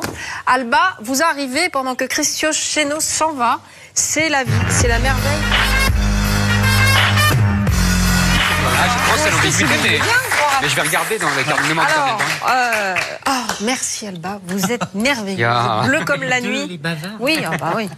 Euh, alors, euh, nous allons reparler bien sûr des législatives, mais d'abord, Alba, une petite info. Oui, parce qu'on se demande à quoi va ressembler le 14 juillet d'Emmanuel Macron et on se dit qui pourrait être, tiens, l'invité cette année des cérémonies sur les Champs-Élysées. Il n'y a plus de garden party. Je ne crois pas. De toute façon, la garden party, ça coûte trop cher, donc hein, c'est plus à la mode. Bon. Alors, il se murmure qu'il s'agirait du roi du Maroc, Mohamed VI. C'est dans les tuyaux. Pour l'instant, ça reste encore euh, secret. Il faut se souvenir que la dernière fois que le Maroc... C'est très secret, comme vous pouvez le constater. Oui, non, mais je ne peux pas encore totalement... C'est entre nous. Je, ne ça ne sortira pas, d'ici. encore totalement le confirmer. Euh, ça se trouve, ce sera démenti, j'en sais rien. Mais en tout cas, pour l'instant, on est plutôt sur le roi du Maroc, Mohamed VI. Et la dernière fois que le Maroc a été à l'honneur, c'était en 99. C'était Hassan II. Hein, et qui avait été invité par Jacques Chirac. Neuf jours avant la mort d'Hassan II, d'ailleurs. J'ai une autre petite info. Une petite info qui concerne Cécile Duflot, ah. l'amie d'Éric oh, Zemmour. Ah, On est impatients. Qui prépare un documentaire, ah. oui, qui prépare un film sur le port de la jupe en France, ah, Éric. Bah, ça devrait elle, vous plaire. Elle bah, oui. en fait. métrage. Bah, elle, va avoir du boulot. Elle va avoir du boulot. Elle n'a rien à faire, donc. Euh. Oh, elle avait été particulièrement marquée par, euh, vous savez, les réactions sur sa robe à fleurs euh, blanc et, blanche et bleue à l'Assemblée. Oh, elle s'est confiée d'ailleurs au Figaro.fr sur cet épisode pas très glorieux quand même. Oh. Non, c'est pas glorieux. Pas très glorieux pour elle. C'est lors de, des premières questions au gouvernement où, au moment où je descends, mais j'ai même pas ouvert la bouche, je me fais huer. Monsieur le Président. Allez, écoutez Mesdames et messieurs les députés, mais surtout messieurs, visiblement. En vrai, dans l'hémicycle, c'est très violent. Et je trouve ça assez énorme. Je comprends pas très bien d'ailleurs euh, sur le moment. Puis il y en a un qui a dit Allez, vas-y, enlève les boutons quand même. Je sais qui c'est. Mais surtout, ce qui était terrible, c'est que c'était spontané et collectif. C'est pas chic quand même, Eric. Ah non, mais c'est très intéressant parce que c'est. Eh, c'est très intéressant. Elle se victimise alors que c'est elle qui a osé venir en blue jean aux premières réunions du, gouvernement. Elle, faisait, exprès, elle se sert de, la, du vêtement pour passer un message politique. Elle le paye. Je suis désolé. C'est incroyable. Ça me fait penser au préfet de police qui interdisait à Marlène Dietrich de porter des pantalons en 1939. on ne vient pas, vous savez, oh, Bourlon. Non, mais on ne vient pas on vient en jean un jean au conseil Depuis Jeanne d'Arc sont autorisés à porter des pantalons. Non, non, mais des pantalons. Elle. Elle est parfaitement décente. Non, mais oui, elle est parfaitement décente, j'ai jamais dit le contraire. Et les gens pas de cette robe. Je dis qu'elle est parce que pour une fois, elle se met non, non, elle se met en robe. Et donc elle paye le fait quand elle fait. Parce qu'elle était venue en jean. Elle provoque vestimentairement politique. Rarement Cécile mais là pour le coup. Moi je ne défends jamais C'est une discrimination, Eric. C'est comme ça. Non, c'est pas une discrimination. C'est elle. Mais c'est du baratin. Je défends le jean et je défends le baratin. Le jean en conseil des avait soutenu euh, le maire de Bordeaux à la primaire. Très sympathique. Et surtout, il faut dire que l'opposant de Berger Né, je ne fais pas de commentaires. J'ai discuté avec elle, elle est, elle est très sympathique. Voilà. Euh, sympathique, c'est pas. Et euh, bien plus sympathique que son opposant, Jean-Frédéric Poisson. Ah. Hein. Mais il est très sympathique, Jean-Frédéric. Poisson. non, mais bien sûr. Mais elle, elle est surtout charmante, mais, mais il est très sympathique, Poisson. Il, aime les Stones, c'est un dégât mais Il est. Ah, ah bah non, ah cas-là. Ah voilà, merci, je savais. Okay. On situe, Jean-Frédéric Poisson du Parti chrétien-démocrate, ah, donc proche de Christine Boutin, qui lui a le soutien non, je t'assure. Non, non, il est très Qui lui a le soutien Les Républicains UDI, mais qui, souvenez-vous, a, refusé de choisir entre Macron et Le Pen au second tour, et dont les positions surtout sont à des années-lumière de Juppé. C'était surtout la star du débat des. des... On l'avait reçu primaires. Ici, des primaires. Bon, Alain Juppé, il ne risque rien. Je peux vous dire, il ne risque pas d'être exclu pour ce double soutien. On peut sanctionner beaucoup de monde, mais pas Juppé. Voilà ce qu'on dit euh, au, au, parti Les Républicains, parce qu'il fait là un choix personnel. Oui, c'est pas personnel, c'est un choix très significatif bah, d'une division intérieure du, Parti républicain bah, entre les et on, et, et, on va en reparler. Vrai, entre Mme Berger et M. Frédéric Poisson, il est évident qu'elle a est dix fois plus proche Absolument. de Mme évidemment. Berger que de M. Et eh ben Poisson. là, a raison. Mais il faut clarifier globalement. Il faut que Juppé rejoigne Macron et, que tous les juppéistes rejoignent Macron. Là, on, on va en parler. Vous avez vu heureux. que qu'à Boulogne-Billancourt, c'est la guerre. Je vous plains. La guerre des tranchées. Le député Thierry Solaire est candidat Les Républicains. Alors lui, il n'a pas de candidat en marche. Vous savez, parce qu'il a. Ah bah, on l'a reçu la semaine dernière. Voilà, il fait partie avait des fait députés ah, Absolument. qui tendent la main à Emmanuel Macron. Alors il n'a pas de député en marche, mais en revanche, il a une dissidence. Hein. Il a une candidate de droite dissidente, dont le suppléant est Pierre-Christophe Baguet, le maire de Boulogne-Billancourt. Vous suivez Quel bien votre truc ah, Et alors les dissidents... C'est une tradition de Boulogne. Hein. Oui, c'est vrai, c'est vrai. Les dissidents font campagne avec le maire Lui-même, Solaire était un dissident. Oui, c'est vrai, le ministre de l'Intérieur. Contre Guéant. Ah, exactement. Et alors, ils ont tous les deux les logos LR, UDI. Je ne sais pas comment ah ils vont faire les. Non, franchement. Et la bataille fait tellement rage qu'il euh, y a eu une visite de François Barouin qui était prévue pour soutenir Solaire. Euh, finalement, ça a été annulé d'un commun accord. Mais alors, du coup, pour faire enrager ces dissidents, Solaire a décidé de faire venir et le ministre de droite, Gérald Darmanin, et le Premier ministre de droite, Édouard Philippe. Bah, c'est des premiers ministres macroniens quand même. Voilà, alors droite Macron compatible contre droite classique. Moi, je dis chapeau quand même aux électeurs pour s'y retrouver. Ah, alors, mais au contraire, moi, je trouve que c'est beaucoup plus simple et c'est beaucoup plus clair. C'est rien de clair, ça tout le monde a le ah non, sur très ses clair. Au contraire. Moi, chez moi, c'est plus simple. Bon. Chez vous, dans la 13e circonscription 12e circonscription, j'ai fait venir M. Blanquer qui voilà. a des idées très belles, très nettes, dans un, un débat de très haute tenue. Ministre de l'Éducation nationale. Oui. Voilà. Alors, ce n'est pas fini. Ah, euh, oh L'ami de Éric Nolot, Monsieur Estrosi, en a gros sur la patate. Ah oui, oui, Christian Estrosi, il a comme ça qu'on va le définir. non, non, non, non. vous savez que lui aussi, il a tendu la main à, Emmanuel Macron. Et alors, il dit quand je vois les appels de sens commun, la branche politique de la Manif pour tous, en faveur de Laurent Wauquiez, je me dis que pour moi, c'est fini. Si on s'engage sur cette voie-là, mieux vaut changer de boutique. Les Républicains n'ont pas tiré les conséquences de la présidentielle. Ils ont voulu maintenir en survie François Fillon. Ça va nous coûter beaucoup de députés. Les Républicains, dit-il, vont devenir le CNI, le Centre national des, des indépendances, parti qui avait euh, soutenu le retour au pouvoir de De Gaulle, soutenu Giscard et qui se retrouve à la fête du 1er mai de Marine Le Pen quand même cette année. Il va falloir passer à autre chose, dit Christian Estrosi. C'est vrai que sur Fillon, euh, jouer Hibernatus en pleine canicule, c'est très dangereux. Elle est pas mal. Vous pourriez peut-être remplacer Tanguy de temps en temps. Et, Estrosi, euh, euh, dans le genre je retourne ma veste. Moi, je l'ai connu. Il est euh, cohérent depuis supplier, les supplier la, la, la, soutien du Front National de, dans sa région et dans et dans et, et, et euh, ça c'est vraiment très drôle. Alors Estrosi, oui, mais on peut parler de Vauquier qui soutenait Jacques Barrault et ah, qui ça, maintenant mais, ah, mais, surtout on va parler de. Il faut pas. Je veux dire, il ne faut pas. Il ne faut pas sourire de cela parce que en réalité, il y a un vrai clivage politique. Alors, tout le monde, tout le monde se situe, c'est difficile pour des gens. Zemmour le dit. Il y a, oui, oui, je sais, il y a un vrai clivage politique. Et cette famille est en train de, de, de, se rompre en son milieu, exactement comme le Parti Socialiste. Absolument. Et ça s'appelle la décomposition qui précède la recomposition. On est d'accord, on est d'accord, monsieur Il arrive que les gens évoluent, sauf Éric Zemmour, évidemment. Mais sinon, le reste de l'humanité, parfois, évolue. Monsieur Estrosi, je pense, comme monsieur Bertrand, je pense que ce sont des gens qui ont honnêtement, sincèrement bah, Voyons, bah, voyons. on va bah, terminer avec Bernard Cazeneuve, si vous voulez bien, ah. qui finalement apprécie beaucoup Emmanuel Macron. Mais c'est ça qui disait, qui disait que, que Cazeneuve et Macron étaient en froid. Non mais franchement, la presse raconte vraiment n'importe quoi. Non mais alors pourtant on n'a pas inventé toutes les petites piques et toutes les critiques en coin de l'ancien Premier ministre au nouveau président. C'est quand même Bernard Cazeneuve hein, qui a dit, euh, dans un certain agacement d'ailleurs, euh, qu'on manquait totalement de lucidité face au premier pas d'Emmanuel Macron, qui a dit que nous assistions à une succession d'images sympathiques de la part du président. Hein, Sous-entendu, commence par faire tes preuves, mon garçon. Alors il paraît que nous avons euh, surinterprété tout ça. C'est normal. Il paraît que les deux hommes n'ont pas de si mauvaise relation que ça. Moi, Macron, je veux qu'il réussisse. C'est ce que dit Bernard Cazeneuve. Je vous rappelle qu'il est le chef de file socialiste aux législatives. Nous avions eu d'excellentes relations au gouvernement. Nous avons eu un désaccord quand il est parti, mais nos relations restent bonnes. Et alors la preuve, c'est que Cazeneuve adore raconter cette petite anecdote. Il n'oublie pas comment il a recueilli Emmanuel Macron lorsqu'il a été nommé à Bercy en août 2014.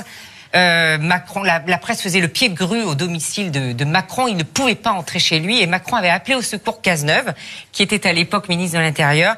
Qu'est-ce que je fais? Les, journalistes m'empêchent de rentrer chez moi. Et là, Cazeneuve, dans un grand élan de générosité, lui a dit Viens à Beauvau, j'ai de quoi t'héberger. Il y a des petits studios. Sinon, il y avait la rue du cirque aussi. C'est beau. La rue du cirque. Cazeneuve, c'est quand même ce que le, dernier quinquennat avait de meilleur à la cave. Hein. Oui, avec le Drian. ne vous ait pas rejoint. Eh bien sûr, on est d'accord. Ah, messieurs. Eh bien, tout le monde est d'accord. Ah, c'est fantastique, eh c'est merveilleux cette émission. évoluer toi aussi. oui, même les monolithes évoluent. Bah, bah, c'est pas la girouette qui tourne, c'est le vent, hein, c'est connu. Ah oui, qui a dit ça, Eric Beaucoup de gens. Beaucoup de gens. C'est Edgar Faure. On, le, on le prête à Edgar Faure. À mon avis, il l'a volé à quelqu'un d'autre. Mais moi, je l'ai trouvé. Même je l'ai trouvé dans la bouche de Danton.